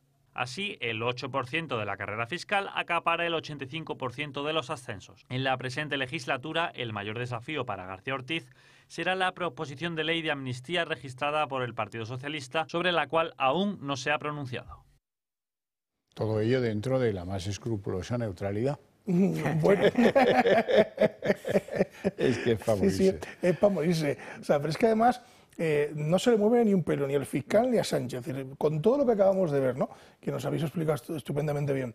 decir, y sobre todo con una cosa que es terrorífica. Yo que pongo un fiscal que el Consejo General del Poder Judicial diga que no es idóneo para el cargo, eh, no por profesional, sino por tinte político, es para hacérselo ver. O sea, yo me retiraría con deshonor de allí. O sea, yo ni, aparecería. Pero este señor no. Y además, no, no, lo hacen a puerta cerrada. O sea, la buscan un huequecito a Dolores y como ese huequecito se lo vamos a buscarle otro, ¿no? Y hacemos una fiscalía de memoria democrática y la pera, ¿no? y veremos a ver, veremos a ver si, si encaja ahí, ¿no? Es decir, al final, eh, bueno, vemos cómo coloca los amigotes, ¿no? Es decir, cómo esa asociación que es minoritaria, pues tiene prácticamente el 85% copado, ¿no? De, de los cargos. Y tú dices, bueno, ¿por qué? Pues porque se deben favores entre sí, porque hay que colocar a los amigos. Son los míos. Y son los míos. Y claro, y así funciona. Entonces, eh, pero es que esto no lo hemos visto nunca en la justicia, acordaros, ¿eh? de- o sea, nunca hemos visto nada parecido. O sea, yo creo que no hemos tenido nunca ningún fiscal general del Estado de este corte ideológico, de este corte, yo no diría ideológico, yo diría partidista, más que Sí, sí. ideológico. No lo hemos tenido Se nunca. trata de colonizarla. Claro. Yo creo que Sánchez así puede seguir, puede decir la fiscalía de quién sigue dependiendo. Cambia un poco a de cua.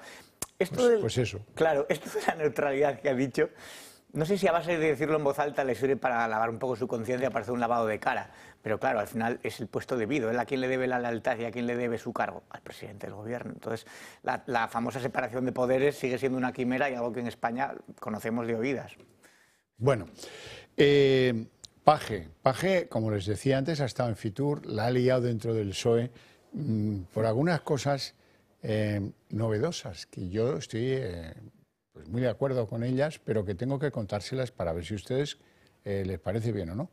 No ha tenido ningún inconveniente en darse un paseo por Fitur con los presidentes de Andalucía, de la Comunidad Valenciana y de Murcia y acordar con ellos que van a hacer una petición conjunta al Gobierno para que dote de 3.000 millones a esas comunidades eh, porque se sienten infrafinanciados. Habrá tenido mucho que ver lo de los 15.000 millones que se van a condonar a Cataluña y estos han dicho, bueno, pues mira, ya por encima de que nos distancian eh, pues militancias políticas, hay que hacer algo para nivelar esta cuestión. Y es de justicia que haya una corrección de esa infrafinanciación que denuncian los cuatro, el de Castilla-La Mancha, el de Andalucía, el de la Comunidad Valenciana y el de Murcia. Hacer un frente común contra la infrafinanciación. Eso es lo que buscan tres comunidades autónomas en las que gobierna el Partido Popular y a las que se ha sumado el socialista Emiliano García Paje. En un encuentro informal en Fitur, los presidentes de la Comunidad Valenciana, Andalucía y la región de Murcia, junto con el manchego, han coincidido en que sus comunidades autónomas están infrafinanciadas y en que es urgente renovar su modelo de financiación. un fondo de nivelación transitorio que al menos nos iguale, que al menos nos equipare a los que están mucho mejor que nosotros, es fundamental, es irrenunciable. El gobierno tiene, el gobierno de Sánchez tiene una factura pendiente con estas cuatro comunidades autónomas. mecanismo de nivelación, de ajuste final. Para entendernos, llega la hora de eh, ajustar las cuentas pendientes que tenemos con el modelo presente. Todas ellas coinciden al reclamar más de 3.000 millones de euros a Pedro Sánchez, una compensación por la infrafinanciación que les depara del actual modelo de financiación autonómica. La región de Murcia, de hecho, es la peor de todas las mencionadas. Según su presidente Fernando López Miras, cada día que pasa es un día en el que restan los recursos y se lastra la competitividad. El acuerdo que algunos ya han denominado como la conjura de Fitur lleva semanas en la agenda de los presidentes autonómicos, que además anuncian el siguiente paso será establecer un diálogo permanente para marcar una línea conjunta frente al gobierno de Pedro Sánchez. En fin, lo que le faltaba a Paje para hacerse el, el- el bicho a exterminar en, Ferraz. Eh, bueno, ha salido en esta mesa anteriormente mm, quién está pensando en aplicar la amnistía a los presos de ETA. ¿Quién? A lo mejor el que ya lleva 40 etarras eh, amnistiados o en libertad. A lo mejor alguien está pensando que aquí, por mucho esta radio constitucional que sea, eh, se puede sacar tajada. El saco de la amnistía sigue engordando y los socios de Sánchez, de Bildu y el PNV ven en la norma la llave para pedir también el blindaje de los presos etarras. Para el Ejecutivo, ambos tipos de terrorismo no son comparables y se amparan en que la norma servirá para recuperar la concordia en Cataluña. En el Partido Popular lo acusan de hipocresía Yo creo que hay diferencias notables con el País Vasco porque el hecho terrorista eh, del tiro en la nuca lo convierte en otra cosa, pero sí hay unas similitudes evidentes. y el caso caso es que el acuerdo con los independentistas podría dar paso a que etarras condenados sin delitos de sangre pudieran beneficiarse también de la medida de gracia. Al menos son 40 los terroristas que Sánchez podría sacar de la cárcel, amparándose, eso sí, el brazo político de ETA en la diferencia de tipos de terrorismo que existen según el propio Ejecutivo. La presencia de miembros de Junts y Esquerra Republicana en Bilbao hace unas semanas en las protestas en favor de los presos de ETA ha hecho presagiar que las negociaciones con Sánchez para aceptar sus enmiendas a la ley de amnistía iban en esa dirección.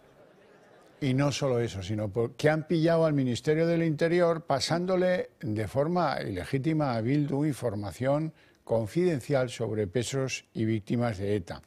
Eso lo revela que las intervenciones telefónicas que lo que descubren es un trato preferente de instituciones penitenciarias con la izquierda versal. el Ministerio del Interior aliado con Bildu y filtrando información al entorno de ETA o a Bildu, que sabemos que es ETA, me parece gravísimo. En cualquier otro país, como se dice ahora de nuestro entorno, sería para una dimisión inmediata del presidente de Interior, o sea, del ministro de Interior y que el presidente saliera a hacer a dar una serie de explicaciones. Además, se sabe además que el, Partido Socialista de Euskadi está en permanente contacto con, con, el colectivo de presos y con Bildu.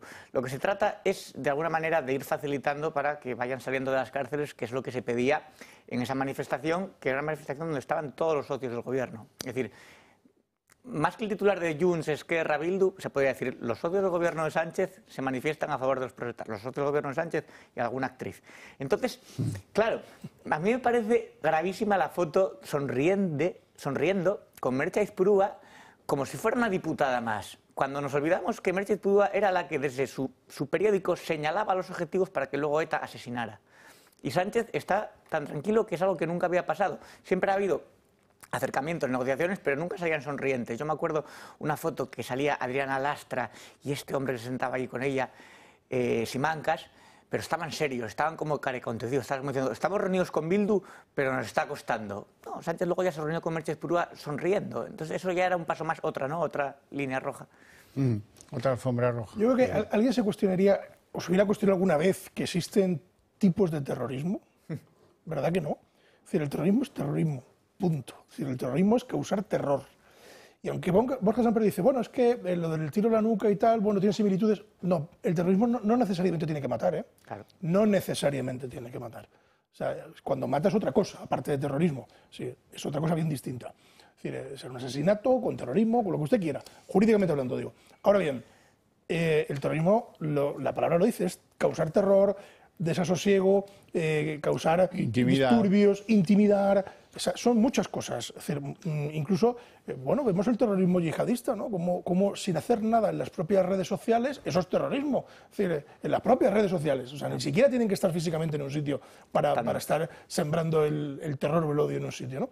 Y se les detiene por eso. Entonces, eh, bueno, pues es que no hay un terrorismo de primera o cookie, como hmm. ha dicho este señor, y un terrorismo de segunda eh, que ya viene pasado. ¿no? no, no, no, no, no, no, es el mismo. Y eso me da mm, pavor que lo van a usar. O sea, esa definición se va a usar porque cuando un juez tenga que interpretar una norma y diga, mm, ¿a qué terrorismo lo aplico? ¿Cómo lo aplico? Es decir, eh, claro, estamos abriendo un melón eh, que yo creo que es algo que, que, alguien tiene que parar en algún sitio, porque ese melón le van a aprovechar los bildotarras le van a aprovechar, estoy seguro que le van a aprovechar eh, para decir, bueno, pues venga, ya viendo la línea gorda, como la línea roja es muy gorda, pues ya la pasamos por encima, ¿no? Es decir, eh, es que yo creo que alguien debería de eh, tomar conciencia de lo que, lo que estamos viviendo en, materia de definición de lo que es el terrorismo es algo muy grave, muy, muy grave. ¿Qué dirán las víctimas, las víctimas del terrorismo? Es decir, ¿qué dirán? Es habría que consultar y decir, oye, ¿usted qué opina de que ahora haya un terrorismo, pues eso, elegante, de mano de guante blanco, si me permiten, y el terrorismo que usted vivió? Es que no hay un terrorismo de guante blanco, no, no existe. Entonces, eh, y no hay un terrorismo cookie, no existe es lo que es. Y lo que pasó en Cataluña es lo que pasó en Cataluña. Es decir, perfectamente definido, terrorismo puro, lo, acaba de, lo, ha definido Xavier al inicio del programa. Es decir, lo dice la Unión Europea y es que confronta con todo. Y no necesariamente tienen que pegar un tiro en la nuca, y no necesariamente tienen que, matar a nadie. Y luego respóndanse ustedes la pregunta clave. ¿Qué delitos de terrorismo son esos que no vulneran los derechos humanos? ¿Cuáles? ¿Cuáles son? O sea, si a mí no me dejan salir del aeropuerto en Barcelona O sea, si a mí me queman esos, eso que hemos visto, esas imágenes de esos altercados, que no puedo libremente moverme, si yo soy una eh, jefa de una delegación judicial y no puedo salir del sitio al que he ido a exigir una documentación, tengo que saltar por un tejado e irme por otro edificio eh, a riesgo de, pues, de, un accidente y de mil cosas, ¿eso qué es? ¿Eso no es vulnerar derechos humanos? Pero podemos hacer similitudes, que parece que gustan mucho ¿no? a los ministros y tal. Bueno, eh, hubo una vez en este país que existía una cosa que se llamaba el terrorismo callejero. ¿Os acordáis? Cale Borroca. La Cale Borroca era el terrorismo callejero. ¿Qué, ¿Qué, diferencia tiene el terrorismo callejero de esa Cale Borroca con lo que hemos visto en Cataluña? Ninguna. Pero ninguna. Yo recuerdo Otegi siendo recibido en las calles de Barcelona como si fuera una estrella del rock, sí. una especie de Bon Jovi. Bruce Springsteen le paraban para hacer selfies con él. O sea, hay una podredumbre moral en cierta parte de la sociedad catalana que admiran a ese terrorismo que sí que pegaba el tiro en la nuca. Bueno, Terrayer eh, asesinaba, pero como abultó, por ejemplo. Pero claro, es que el, el, el terrorismo, cuando o sea, vulnera derechos humanos, dice, o no vulnera derechos humanos. Hay muchos derechos también, los derechos lingüísticos de los que no pueden matricular a sus hijos en su lengua materna, ahí está, vulnerando derechos también. ¿Por qué no hablamos también de derechos lingüísticos, de derechos ciudadanos? Decir claro. derechos humanos. No sé si vamos a hablar, a hablar de Chapote. Sí, vamos a hablar de Chapote porque hoy Chapote se ha sentado en el banquillo por eh, el asesinato, mediante una, una moto explosiva, eh, del concejal del PP, Manuel Zamarreño. ¿Y qué ha dicho Chapote? Pues que él no participa, pues que me voy a negar a defenderme. ¿eh? Vamos a verlo. Chapote y Amaya, ex jefes de ETA, han vuelto a sentarse en el banquillo por el asesinato en 1998 del concejal popular Manuel Zamarreño. Sin embargo, no han respondido a ninguna pregunta del juicio y se han negado a declarar. La Fiscalía pide para ambos etarras 120 años de prisión, 30 por el asesinato, 20 por cada uno de los tres heridos, otros 20 por estragos y 10 por tenencia de explosivos. El comando Donosti actuó tras recibir en aquella época la orden de matar a miembros del PP. El concejal popular fue asesinado el 25 de junio de 1998 con una motobomba cuando salía de comprar el pan. La fiscalía cree que fue Amaya quien compró la moto empleando un carnet falso. El escolta de Zamarreño, que resultó herido tras el atentado, ha acudido como testigo a este juicio que se extenderá hasta el viernes. Además de la Fiscalía, la familia del edil popular ejerce también la acusación para conseguir que el atentado sí tenga culpables identificados. Chapote lleva en prisión desde 2001 y acumula condenas de más de una decena de asesinatos. Con el juicio que ha arrancado este miércoles se da un paso al frente, pero aún quedan más de 300 asesinatos de ETA sin resolver. Mm el culpable de 13 asesinatos de ETA, entre ellos el de Miguel Ángel Blanco, con el componente de crueldad que tenía, el de Gregorio, el de Gregorio Ordóñez, que además le avisaron antes, ¿no? cuando se habla de... Es que las raíces de un pueblo, sí, las raíces de los que se tuvieron que ir también le decían, vete de Euskadi, Gregorio Cabrón, porque si no te, vas a, te vamos a matar. Y no se quiso ir y evitaron que fuera alcalde de San Sebastián, que es una forma también de manipular el censo electoral. Pero bueno, y de Fernando Mújica, que además era socialista, por lo tanto ahora están pactando con, con los asesinos de sus propios compañeros, el PSOE. Eh, eh, Gregorio Chapote lleva en la cárcel desde 2001, pero lleva desde 2022 en Álava. Es decir, hubo un acercamiento con, la cruel ironía de que él cuando mató a Miguel Ángel Blanco lo que pedía era acercamiento de los presos al País Vasco. Él ha sido acercado, ha cumplido sus objetivos, uno de sus objetivos lo ha visto cumplido sin arrepentimiento. Porque cuando se hizo la vía en Anclares era para presos arrepentidos que colaboraban. Chapote ni se ha arrepentido ni, ni, ha colaborado y aún así lo han acercado. Entonces se calcula que para el 2031 puede salir ya de la cárcel. Queda poco y llegará un momento en que Chapote puede que se vuelva a, a inscribir en la, vida, en la vida social, cívica la, y a lo mejor hasta acaba de diputado de Bildu. ¿no? O sea, bueno, cruzando la línea roja que marque mm. el gobierno, que esa es fácil de cruzar, entonces seguramente lo puede hacer. Es decir, eh, bueno, hemos visto eh, el, a Chapote decir que no quiere declarar. Claro, ¿cómo va a declarar? Eh, es imposible que declare, porque todo lo que diga va a ser usado en su contra, estoy seguro. Entonces, bueno, no se le mueve tampoco un pelo. espero que este crimen no quede impune es decir, y que la familia pueda descansar por fin de esta situación que arrastra desde los años 90, es decir, que no es de, no de hace dos días, sino hace más de 20 años eh, y que podamos tenerle eh, por fin un, un, periodo más en, en, la sombra. Yo no soy partidario, vamos, yo creo que ni yo ni seguramente muchos de los que nos vean, de, del acercamiento de presos a ningún sitio. Es decir, donde te toque, te tocó, querido. Esto es así. Donde te toque, te tocó y bueno, pues ¿qué le vamos a hacer? La vida es así. Entonces, eh, bueno, que se beneficien ciertos presos. Eh, yo hice las prácticas en la prisión de Brieva, en Ávila, eh, hace muchos años, y, y, veía cómo había bueno, pues, tratos distintos a las presas etarras con respecto de la, a lo que llamaban la población Los reclusa, comunes. los comunes, Sí. ¿no? Es decir, pero yo no entendía, yo era un chaval y yo no entendía, pero si son presos todos, ¿por qué tienen que estar eh, aquí? No, es que estos presos los consideran como presos políticos, ¿no? Me decían, alguna reclusa me decía que, yo decía, digo, no me lo puedo creer. Entonces, bueno, siempre hemos visto esos tratos de favor, ¿no? Se permitían el lujo y recuerdo eh, a un letrado de la Administración de Justicia, que hoy ya no está en Ávila, que nos contaba eh, cómo incluso eh, le, amenazaban las propias presas cuando iba a tomar declaración o cuando iba a hacer alguna gestión al propio, a la propia prisión, ¿no? Entonces esto lo hemos visto desde siempre. Siempre ha ocurrido ese trato de favor, cosa que, bueno, que es deleznable. Mira Ortega Lara, por ejemplo, ¿eh? que acabó secuestrado 500 y pico días ¿eh? por la banda terrorista ETA. No tenemos tiempo para más, lo dejamos aquí. Mi agradecimiento para ustedes dos por sus opiniones y su presencia en el programa. Y a ustedes, ¿qué les voy a decir? Pues que a la vuelta de publicidad arrancamos aquí el día en 30 minutos.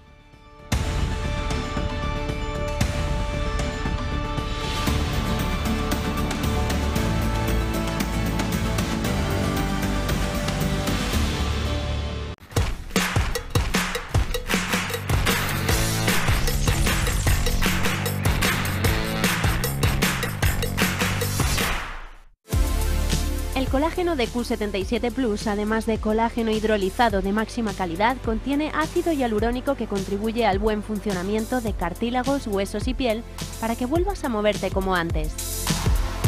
Su fórmula enriquecida con magnesio, vitaminas A, C y K, junto al revolucionario factor 77, te hará rejuvenecer desde dentro. Toma un sobre diario de Q77 más colágeno disuelto en agua o en tu bebida favorita y vuelve a sentir la energía que necesitas. Disponible en q77plus.com. ¿Por qué Agua Sierra Cazorla es única? El equilibrio de su manantial es único. Es más ligero en sodio, la idónea para la tensión arterial. Más rica en magnesio, calcio y bicarbonato, muy importante para tu organismo. Y ahora Agua Sierra Cazorla con los refrescos saludables de verdad. Sin azúcar y sin gas, aptos para diabéticos. Más naranja y limón. Agua Sierra Cazorla, la única en calidad certificada. Está harto de que le hagan esperar al teléfono, de que no le expliquen las ventajas de la contratación en sus seguros. Ahora puede contar con Incos. Le damos un trato personalizado y le ofrecemos un ahorro en sus seguros. Así que no espere más y llame a Incos al 91 032 69 47.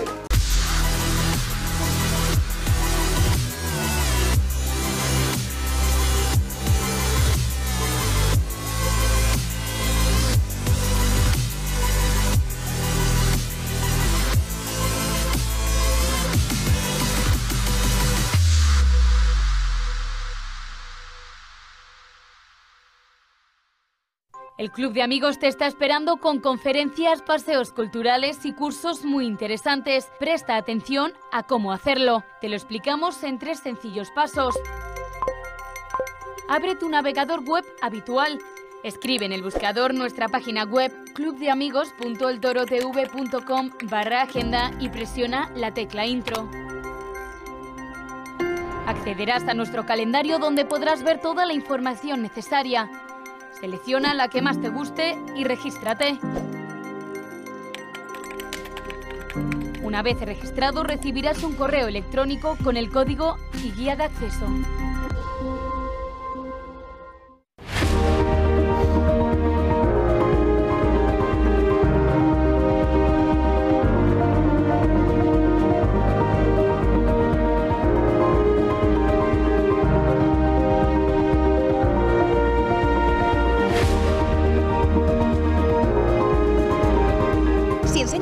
De socio del Club de Amigos, tendrá un 10% de descuento en el total de su factura.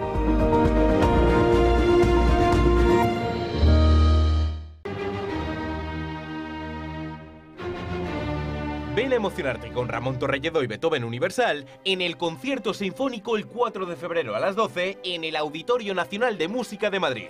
La quinta sinfonía y el quinto concierto para piano y orquesta Emperador de Beethoven.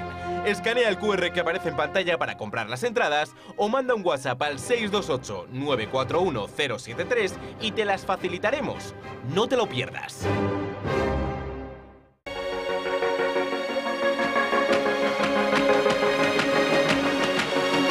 El producto de temporada y sugerencias semanales según el mercado aportan dinamismo a la carta de Calisto. Nos ofrece una cocina que huele a tradición con toques vanguardistas. Está ubicado en Chamberí, uno de los barrios más emblemáticos de Madrid. Descubra el restaurante Calisto.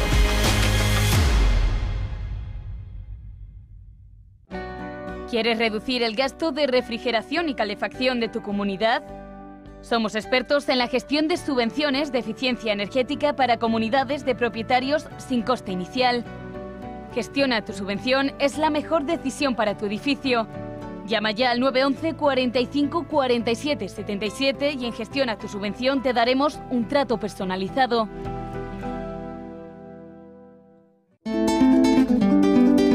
Ven al puerto de Mazarrón, al restaurante con cierto sentido, en un entorno único a la orilla de la playa. Somos el hogar del buen gusto, con una exquisita carta de marisco fresco, arroces, carnes certificadas, pescados de lonja y verduras ecológicas. Productos exclusivos de mercado para los paladares más exigentes. Aquí seguimos con el mejor producto de España en su mesa. Les esperamos. Restaurante con cierto sentido. Imprescindible reserva previa en el 968 15 59 06.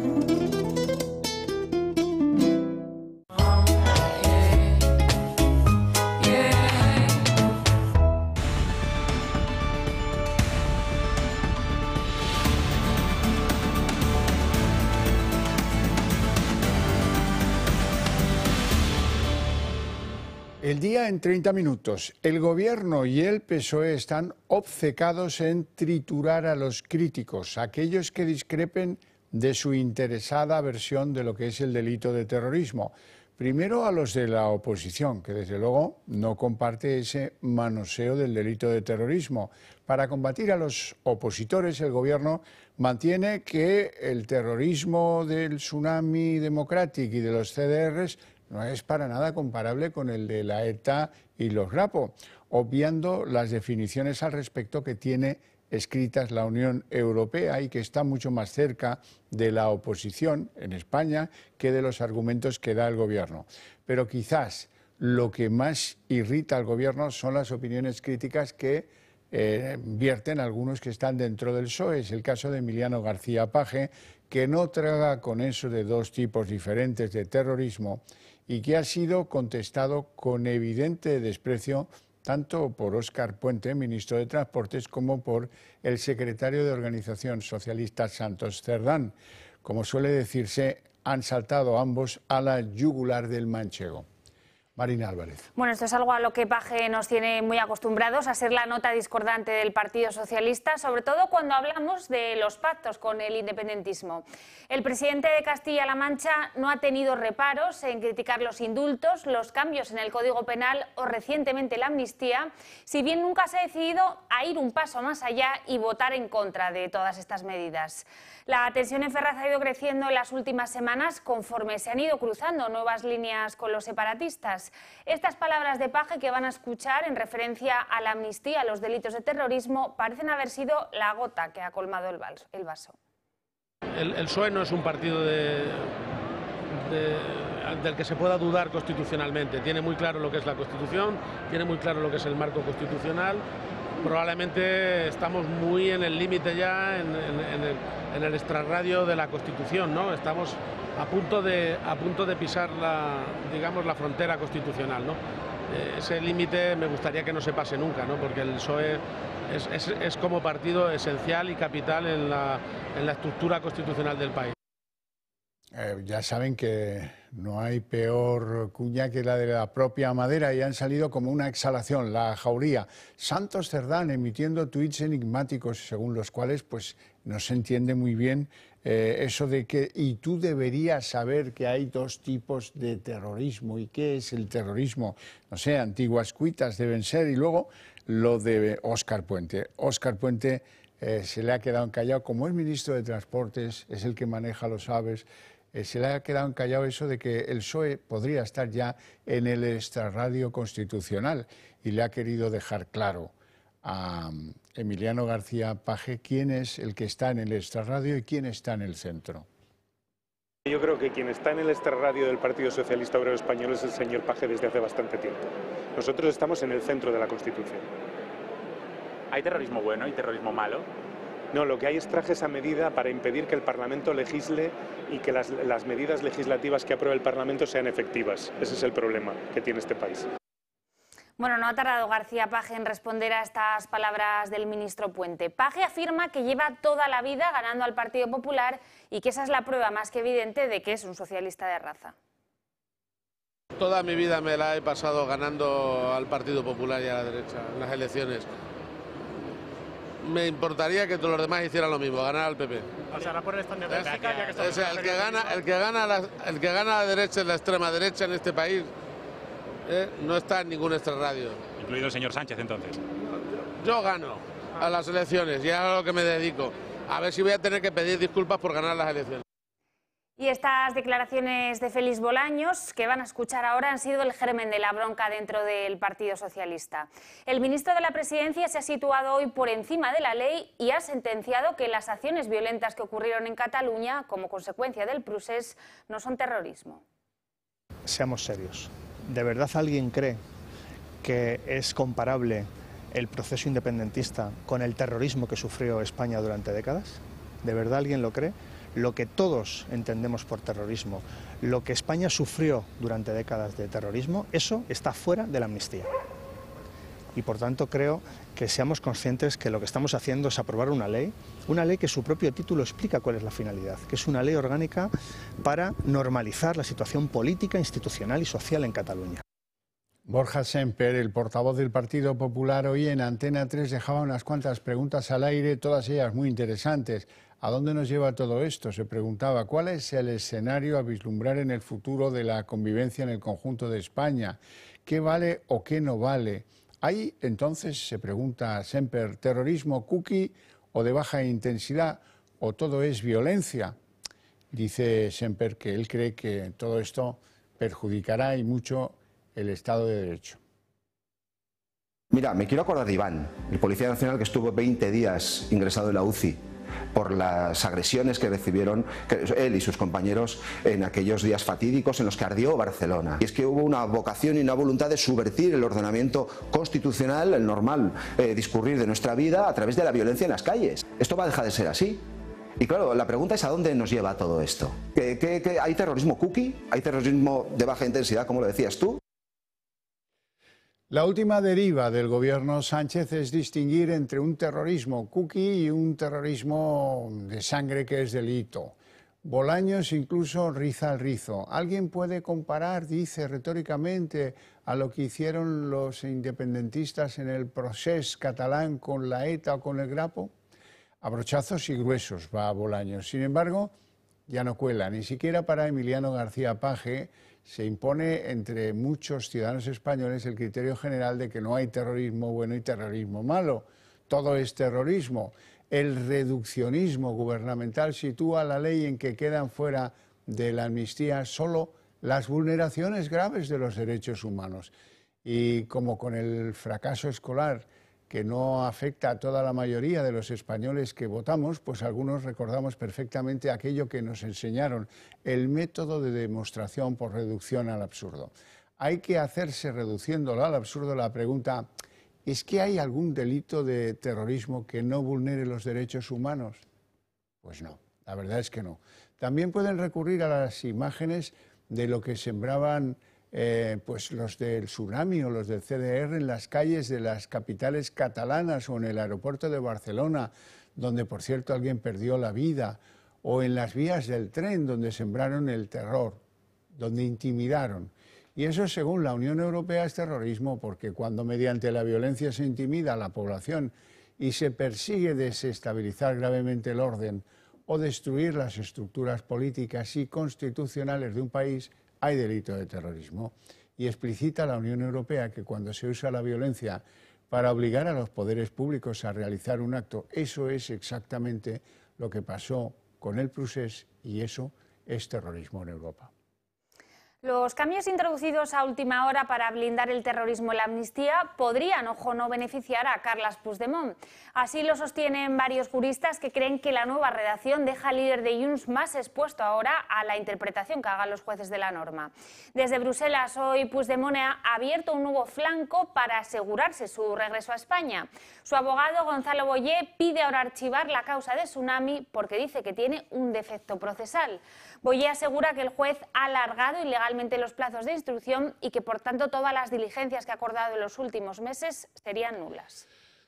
Tras el polémico acuerdo con Junts de materia amnistiatoria, pues el Gobierno cree que ahora el trámite de los presupuestos, que está a punto de comenzar, transita por caminos seguros, aunque lo deseable hubiera sido conseguir los apoyos y después cerrar la amnistía. No ha sido de ese modo, pero eh, eso es lo que algunos mm, todavía no tienen, no se tientan la ropa y creen que pueden venir eh, sustos imprevistos que no son descartables.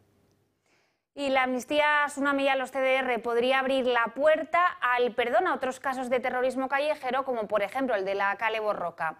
El nacionalismo vasco quiere ir un paso más allá y quiere extender la amnistía a aquellos etarras que no tengan delitos de sangre, pero que todavía sigan en prisión. El saco de la amnistía sigue engordando y los socios de Sánchez de Bildu y el PNV ven en la norma la llave para pedir también el blindaje de los presos etarras. Para el Ejecutivo, ambos tipos de terrorismo no son comparables y se amparan en que la norma servirá para recuperar la concordia en Cataluña. En el Partido Popular lo acusan de hipocresía. Yo creo que hay diferencias notables con el País Vasco porque el hecho terrorista eh, del tiro en la nuca lo convierte en otra cosa, pero sí hay unas similitudes evidentes. Y el caso caso es que el acuerdo con los independentistas podría dar paso a que tarras condenados sin delitos de sangre pudieran beneficiarse también de la medida de gracia. Al menos son 40 los terroristas que Sánchez podría sacar de la cárcel, amparándose, eso sí, el brazo político de ETA en la diferencia de tipos de terrorismo que existen según el propio Ejecutivo. La presencia de miembros de Junts y Esquerra Republicana en Bilbao hace unas semanas en las protestas en favor de los presos de ETA ha hecho presagiar que las negociaciones con Sánchez para aceptar sus enmiendas a la ley de amnistía iban en esa dirección. Y Emiliano García Paje se acerca cada día más al Partido Popular y no solo en el plano ideológico. El varón socialista ha unido hoy fuerzas con los presidentes de Murcia, Andalucía y la Comunidad Valenciana para denunciar su infrafinanciación y pedirle al Estado 3.000 millones de euros anuales que nivelen sus cuentas. Hacer un frente común contra la infrafinanciación. Esto es lo que buscan tres comunidades autónomas en las que gobierna el Partido Popular y a las que se ha sumado el socialista Emiliano García Paje. En un encuentro informal en Fitur, los presidentes de la Comunidad Valenciana, Andalucía y la región de Murcia, junto con el Manchego, han coincidido en que sus comunidades autónomas están infrafinanciadas y en que es urgente renovar su modelo de financiación. Un fondo de nivelación transitorio que al menos nos iguale, que al menos nos equipare a los que están mucho mejor que nosotros, es fundamental, es irrenunciable. El gobierno tiene, el gobierno de Sánchez tiene una factura pendiente con estas cuatro comunidades autónomas. Mecanismo de nivelación, de ajuste final. Para entendernos, llega la hora de ajustar las cuentas pendientes que tenemos con el modelo presente. Todas ellas coinciden al reclamar más de 3.000 millones de euros a Pedro Sánchez, una compensación por la infrafinanciación que les depara del actual modelo de financiación autonómica. La región de Murcia, de hecho, es la peor de todas las mencionadas. Según su presidente Fernando López Miras, cada día que pasa es un día en el que restan los recursos y se lastra la competitividad. El acuerdo que algunos ya han denominado como la conjura de Fitur lleva semanas en la agenda de los presidentes autonómicos que además anuncian el siguiente paso será establecer un diálogo permanente para marcar una línea conjunta frente al gobierno de Pedro Sánchez. El presidente del Partido Popular, Alberto Núñez Feijóo, ha anunciado hoy que 11 comunidades autónomas en las que el Partido Popular preside los gobiernos regionales van a impulsar un EBAU común. El EBAU es la antigua prueba de selectividad y va a ser común en contenidos, en convocatoria, fecha y sistemas de corrección. Es decir, ya que el Gobierno de España no quiere implantar una EBAU única para todo el territorio, las autonomías del PP han decidido que lo van a hacer por su cuenta y eso afectará al 70% de los alumnos. Ya estamos trabajando todas las consejeras y consejeros del partido para buscar los puntos de encuentro y presentar una prueba de selectividad, una EBAU común en toda España. Lo vamos a hacer.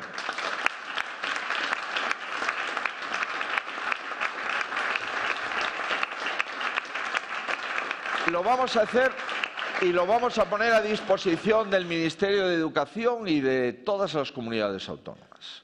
Porque no tiene sentido tener 17 pruebas para acceder al mismo sistema universitario. El Ministerio de Derechos Sociales pondrá en circulación unas tarjetas monedero para que familias vulnerables puedan acceder a alimentos y productos de higiene. El importe va a depender del número de hijos y se espera que pueda llegar hasta los 220 euros mensuales. Esta ayuda que va a gestionar Cruz Roja supone el fin de la colaboración entre el Gobierno y los bancos de alimentos que denuncian que más de 350.000 familias van a quedar ahora desprotegidas. ¿Cuántas veces han escuchado que España va camino de Venezuela? Lo que antes era un dicho con tono irónico, ahora se está convirtiendo en una realidad. Y es que parece que esta última semana el Gobierno se ha propuesto aprobar medidas, cada cual más polémica. El ministro de Derechos Sociales, Pablo Bustinduy, ha anunciado la aprobación de un nuevo modelo de tarjetas monedero. Por el que se va a facilitar a las familias vulnerables unas tarjetas monedero o vales canjeables por productos de alimentación y otros productos de primera necesidad, como los productos de higiene. Em, en lo que será un modelo menos estigmatizante. El gobierno progresista lo llama tarjetas monedero. Parte de la sociedad prefiere llamarlo tarjetas de racionamiento. El Ejecutivo sustituirá las cestas de alimentos que hasta ahora se han repartido para las familias en pobreza severa. Prevén llegar a partir del próximo mes de abril a casi 70.000 familias mediante esta medida una medida que se articulará a través de la Cruz Roja con fondos europeos y a partir de 2025 tendrán que gestionarlo cada comunidad autónoma. El importe máximo de esta subvención es de 100 millones, de los cuales 95 millones y medio irán destinados a los gastos en alimentos y el resto en gastos técnicos. Esto es lo que dice el Consejo de Ministros, pero como hemos comprobado en otras ocasiones, la realidad de Moncloa no es la realidad de la calle. La Federación Española de Bancos de Alimentos ha denunciado que más de 350.000 familias quedarían desprotegidas. Y es que esta medida supone el fin de la colaboración entre el Ejecutivo y los bancos de alimentos. Según la memoria económica del propio Gobierno, el año pasado se destinaron 97 millones de euros, de los que se pudieron beneficiar alrededor de 1.400.000 personas. Pero Sánchez y sus ministros nunca dan puntadas sin hilo, ya que se puede comprobar cómo con esto lo único que quieren es dejar de enfrentarse a las demoledoras imágenes de las colas del hambre, unas colas cada vez más largas y más incómodas de ver para ellos.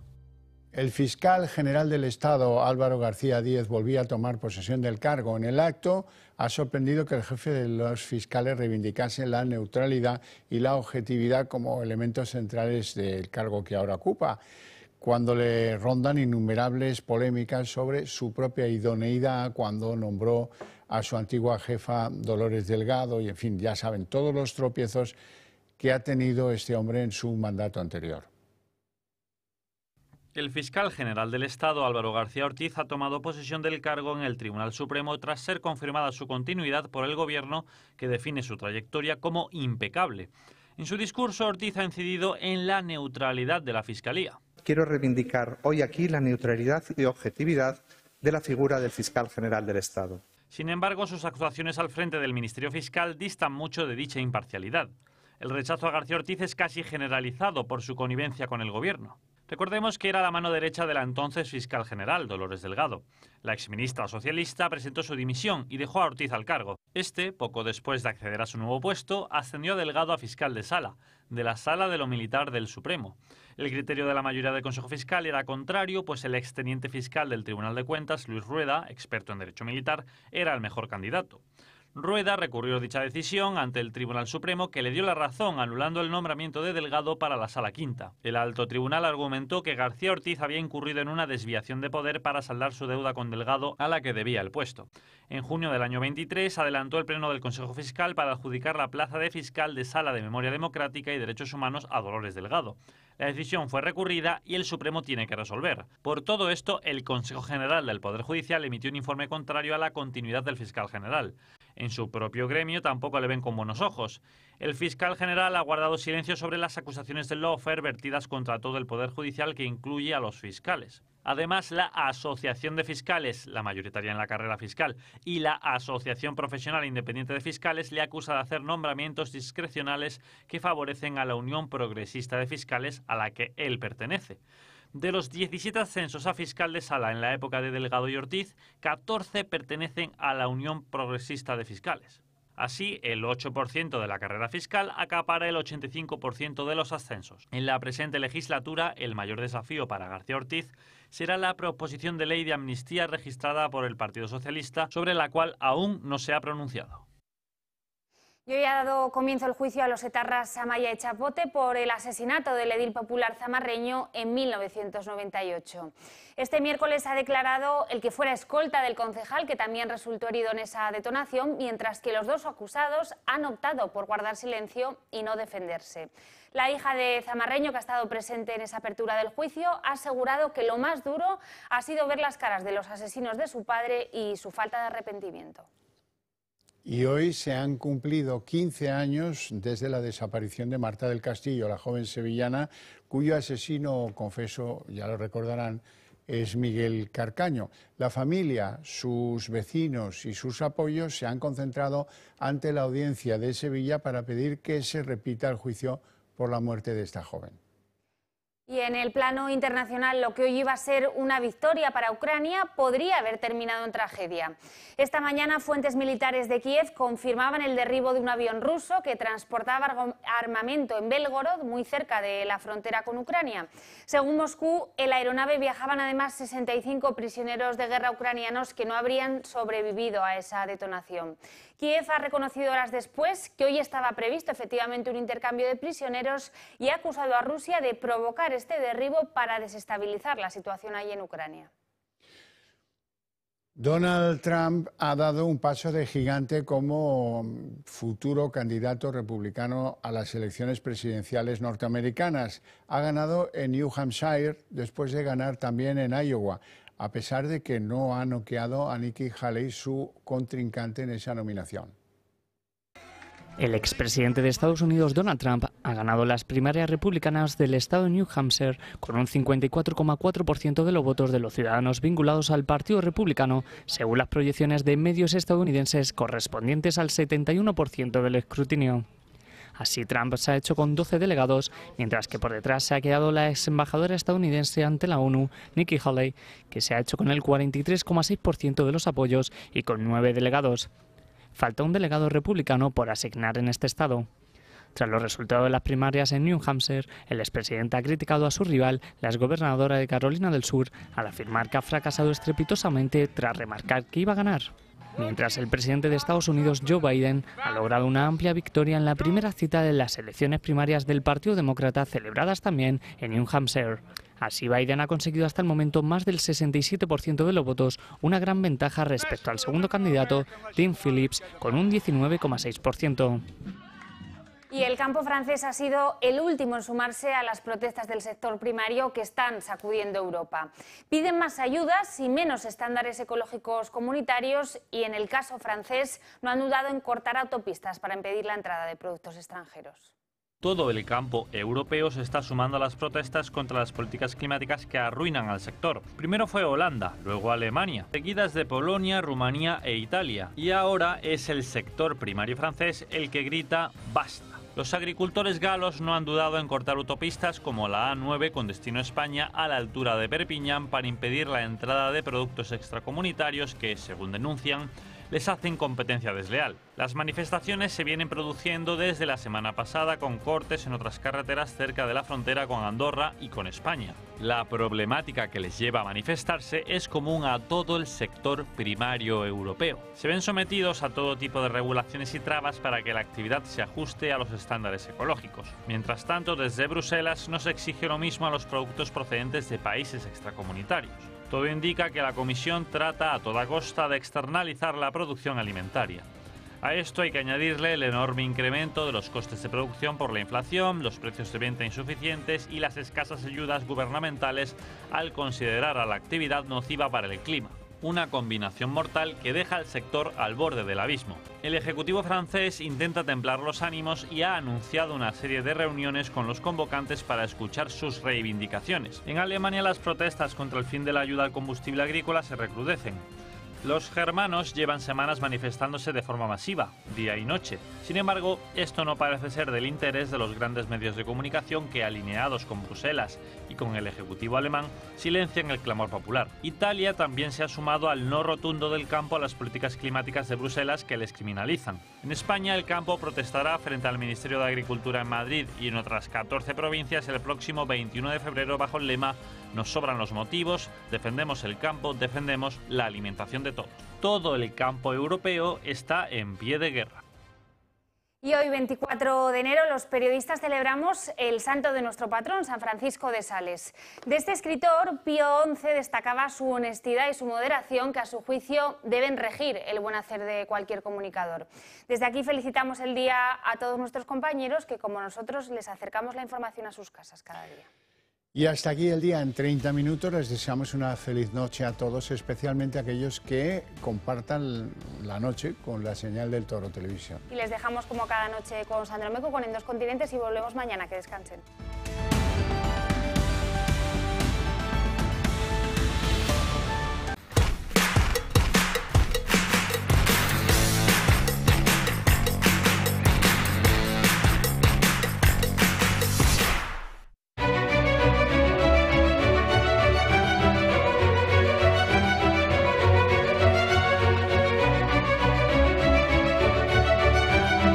Tal día como hoy, pero en 2009, desaparece la joven sevillana de 17 años, Marta del Castillo. Fue asesinada ese mismo día, aunque su cuerpo nunca ha sido localizado. El autor confeso del crimen, Miguel Carcaño, ha dado múltiples versiones de lo ocurrido y de dónde está el cuerpo, y ha acusado a diferentes personas por el crimen, entre ellas su hermano. Carcaño fue condenado a 21 años de prisión. En noviembre de 2022, la audiencia de Sevilla archivó la causa abierta para buscar los restos de Marta del Castillo. En 1806, Leandro Fernández de Moratín estrena en Madrid El sí de las niñas. En 1939, un terremoto destruye la ciudad de Chillán, en Chile, y causa 30.000 muertos. En 1941 se constituye por ley la Red Nacional de Ferrocarriles Españoles. En 1958, científicos británicos y estadounidenses anuncian que se ha logrado una fusión nuclear controlada. En 1969 se impone el estado de excepción en toda España, a causa de la agitación estudiantil surgida tras la muerte del estudiante Enrique Ruano. En 1977 se produce la matanza de Atocha. Un comando de extrema derecha irrumpe en un despacho de abogados laboristas vinculado al Partido Comunista de España y al sindicato Comisiones Obreras, en la madrileña calle de Atocha, y asesina a tres abogados, un estudiante y un administrativo. En 1997 los grapos secuestran en Madrid al presidente del Consejo Supremo de Justicia Militar, el teniente general Emilio Villascusa. Esa misma tarde reivindican el secuestro mediante una llamada al periódico Diario 16. En 2008, un banco francés anuncia que uno de sus operadores ha provocado a la entidad un fraude de 4.900 millones de euros. En 2011 mueren 37 personas y 180 resultan heridas en un atentado terrorista en un aeropuerto moscovita. Fue reivindicado por la guerrilla islamista chechena. En 2017 el primer ministro iraquí anuncia la liberación de la parte este de la ciudad de Mosul, que se encontraba en manos del grupo yihadista Estado Islámico. Hoy, 24 de enero, se celebra la festividad de San Francisco de Sales.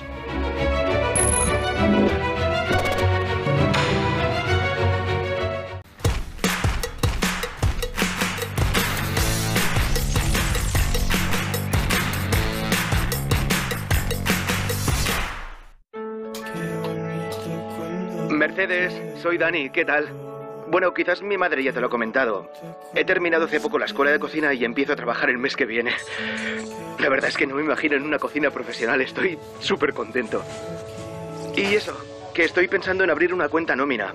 Va a ser mi primer sueldo y bueno, quiero hacer las cosas bien desde el principio. No sé, ya me dirás, gracias. Lo bueno de tener a alguien cerca es que te escucha. En CaixaBank estamos cerca para ayudarte a cumplir cualquier ilusión que tengas.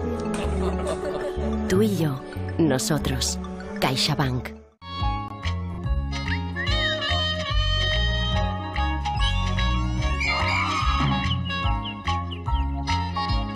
A mi buen amigo Arturo con mi agradecimiento. Un fuerte abrazo, José Mari. Arturo, eres como el lado madrino de todos nuestros sueños bonitos. La propina la pongo yo.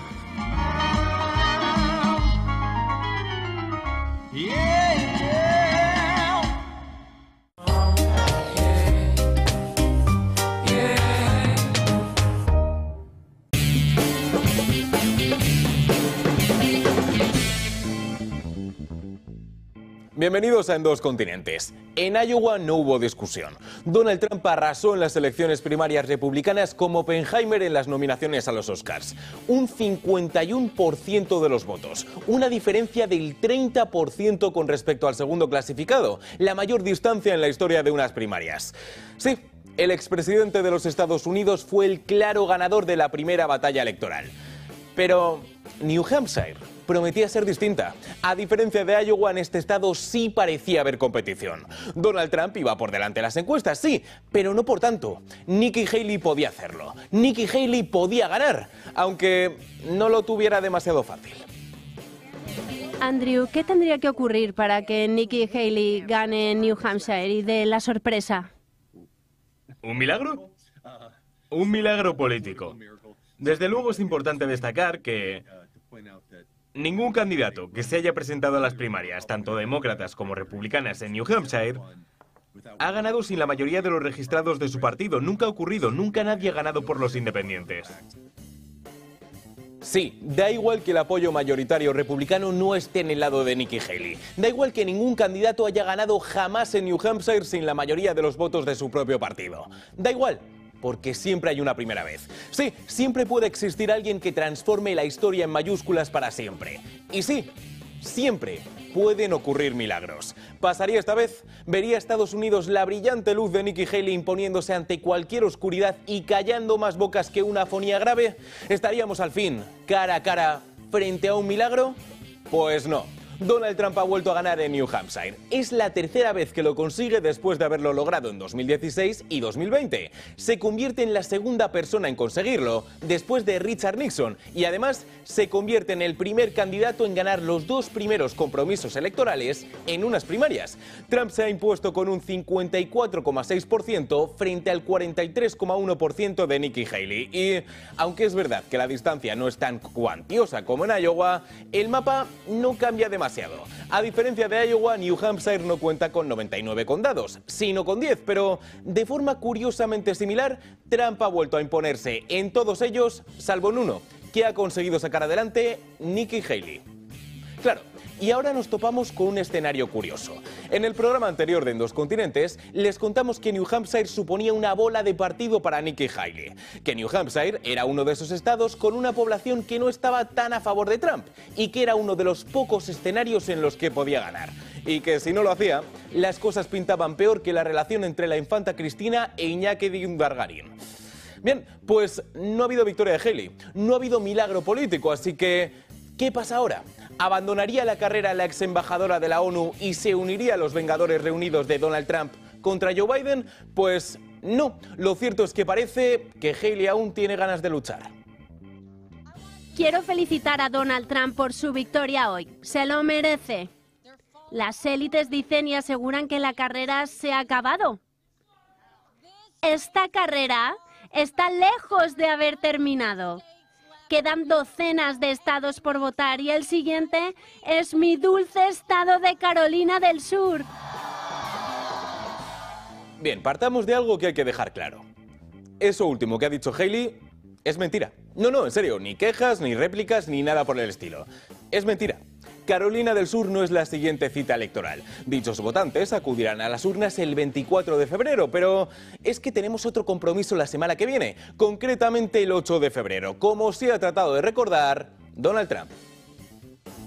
Pero recordad, he escuchado que Nicky decía, pues ahora nos vamos a Carolina del Sur, y me encanta Carolina del Sur, la amo. La amo, pero se le ha olvidado una cosa, se le ha olvidado una cosa. La semana que viene le toca Nevada.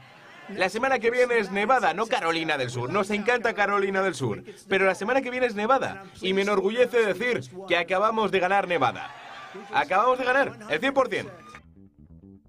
Sí, antes de Carolina del Sur tenemos las elecciones primarias en Nevada. ¿Y por qué Nikki Haley ha ignorado al conocido como el Estado de la Plata? Pues muy sencillo.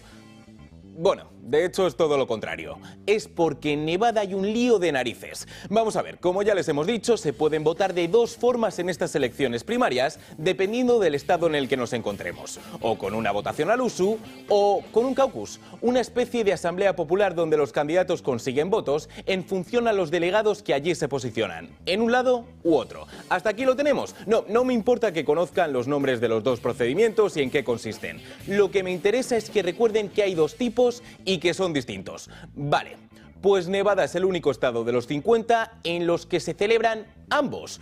¿Por qué? Pues porque el caucus de Nevada en 2020 no fue un caucus, fue un cacao. Todo un lío de organización que hizo que los demócratas aprobaran judicialmente el cambio de un procedimiento a otro. Y aquí viene el tema. Ha habido algunos republicanos que han aceptado el cambio y otros que no. Nikki Haley competirá en las elecciones al uso. Y Trump lo hará en el caucus. ¿Cuál es la decisión inteligente? La de Trump. ¿Por qué? Porque el procedimiento en el que los republicanos eligen a sus delegados, que es de lo que va esta carrera en realidad, es en el caucus. Así que lo que ocurre en las elecciones al uso en Nevada no sirve para nada más que reflejar una potencial intención de voto. De ahí que Trump diga, bueno, pues esto ya está hecho en Nevada. Lógicamente no es así, habrá que esperar a los resultados, pero Trump parte con ventaja. Donde los resultados ya están y donde Trump sí lo tiene hecho es en New Hampshire. Y aunque él tiene claro el resultado electoral, no está tan seguro de si Haley también. Y hoy tengo que deciros que ha sido muy interesante porque he dicho, wow, qué gran victoria.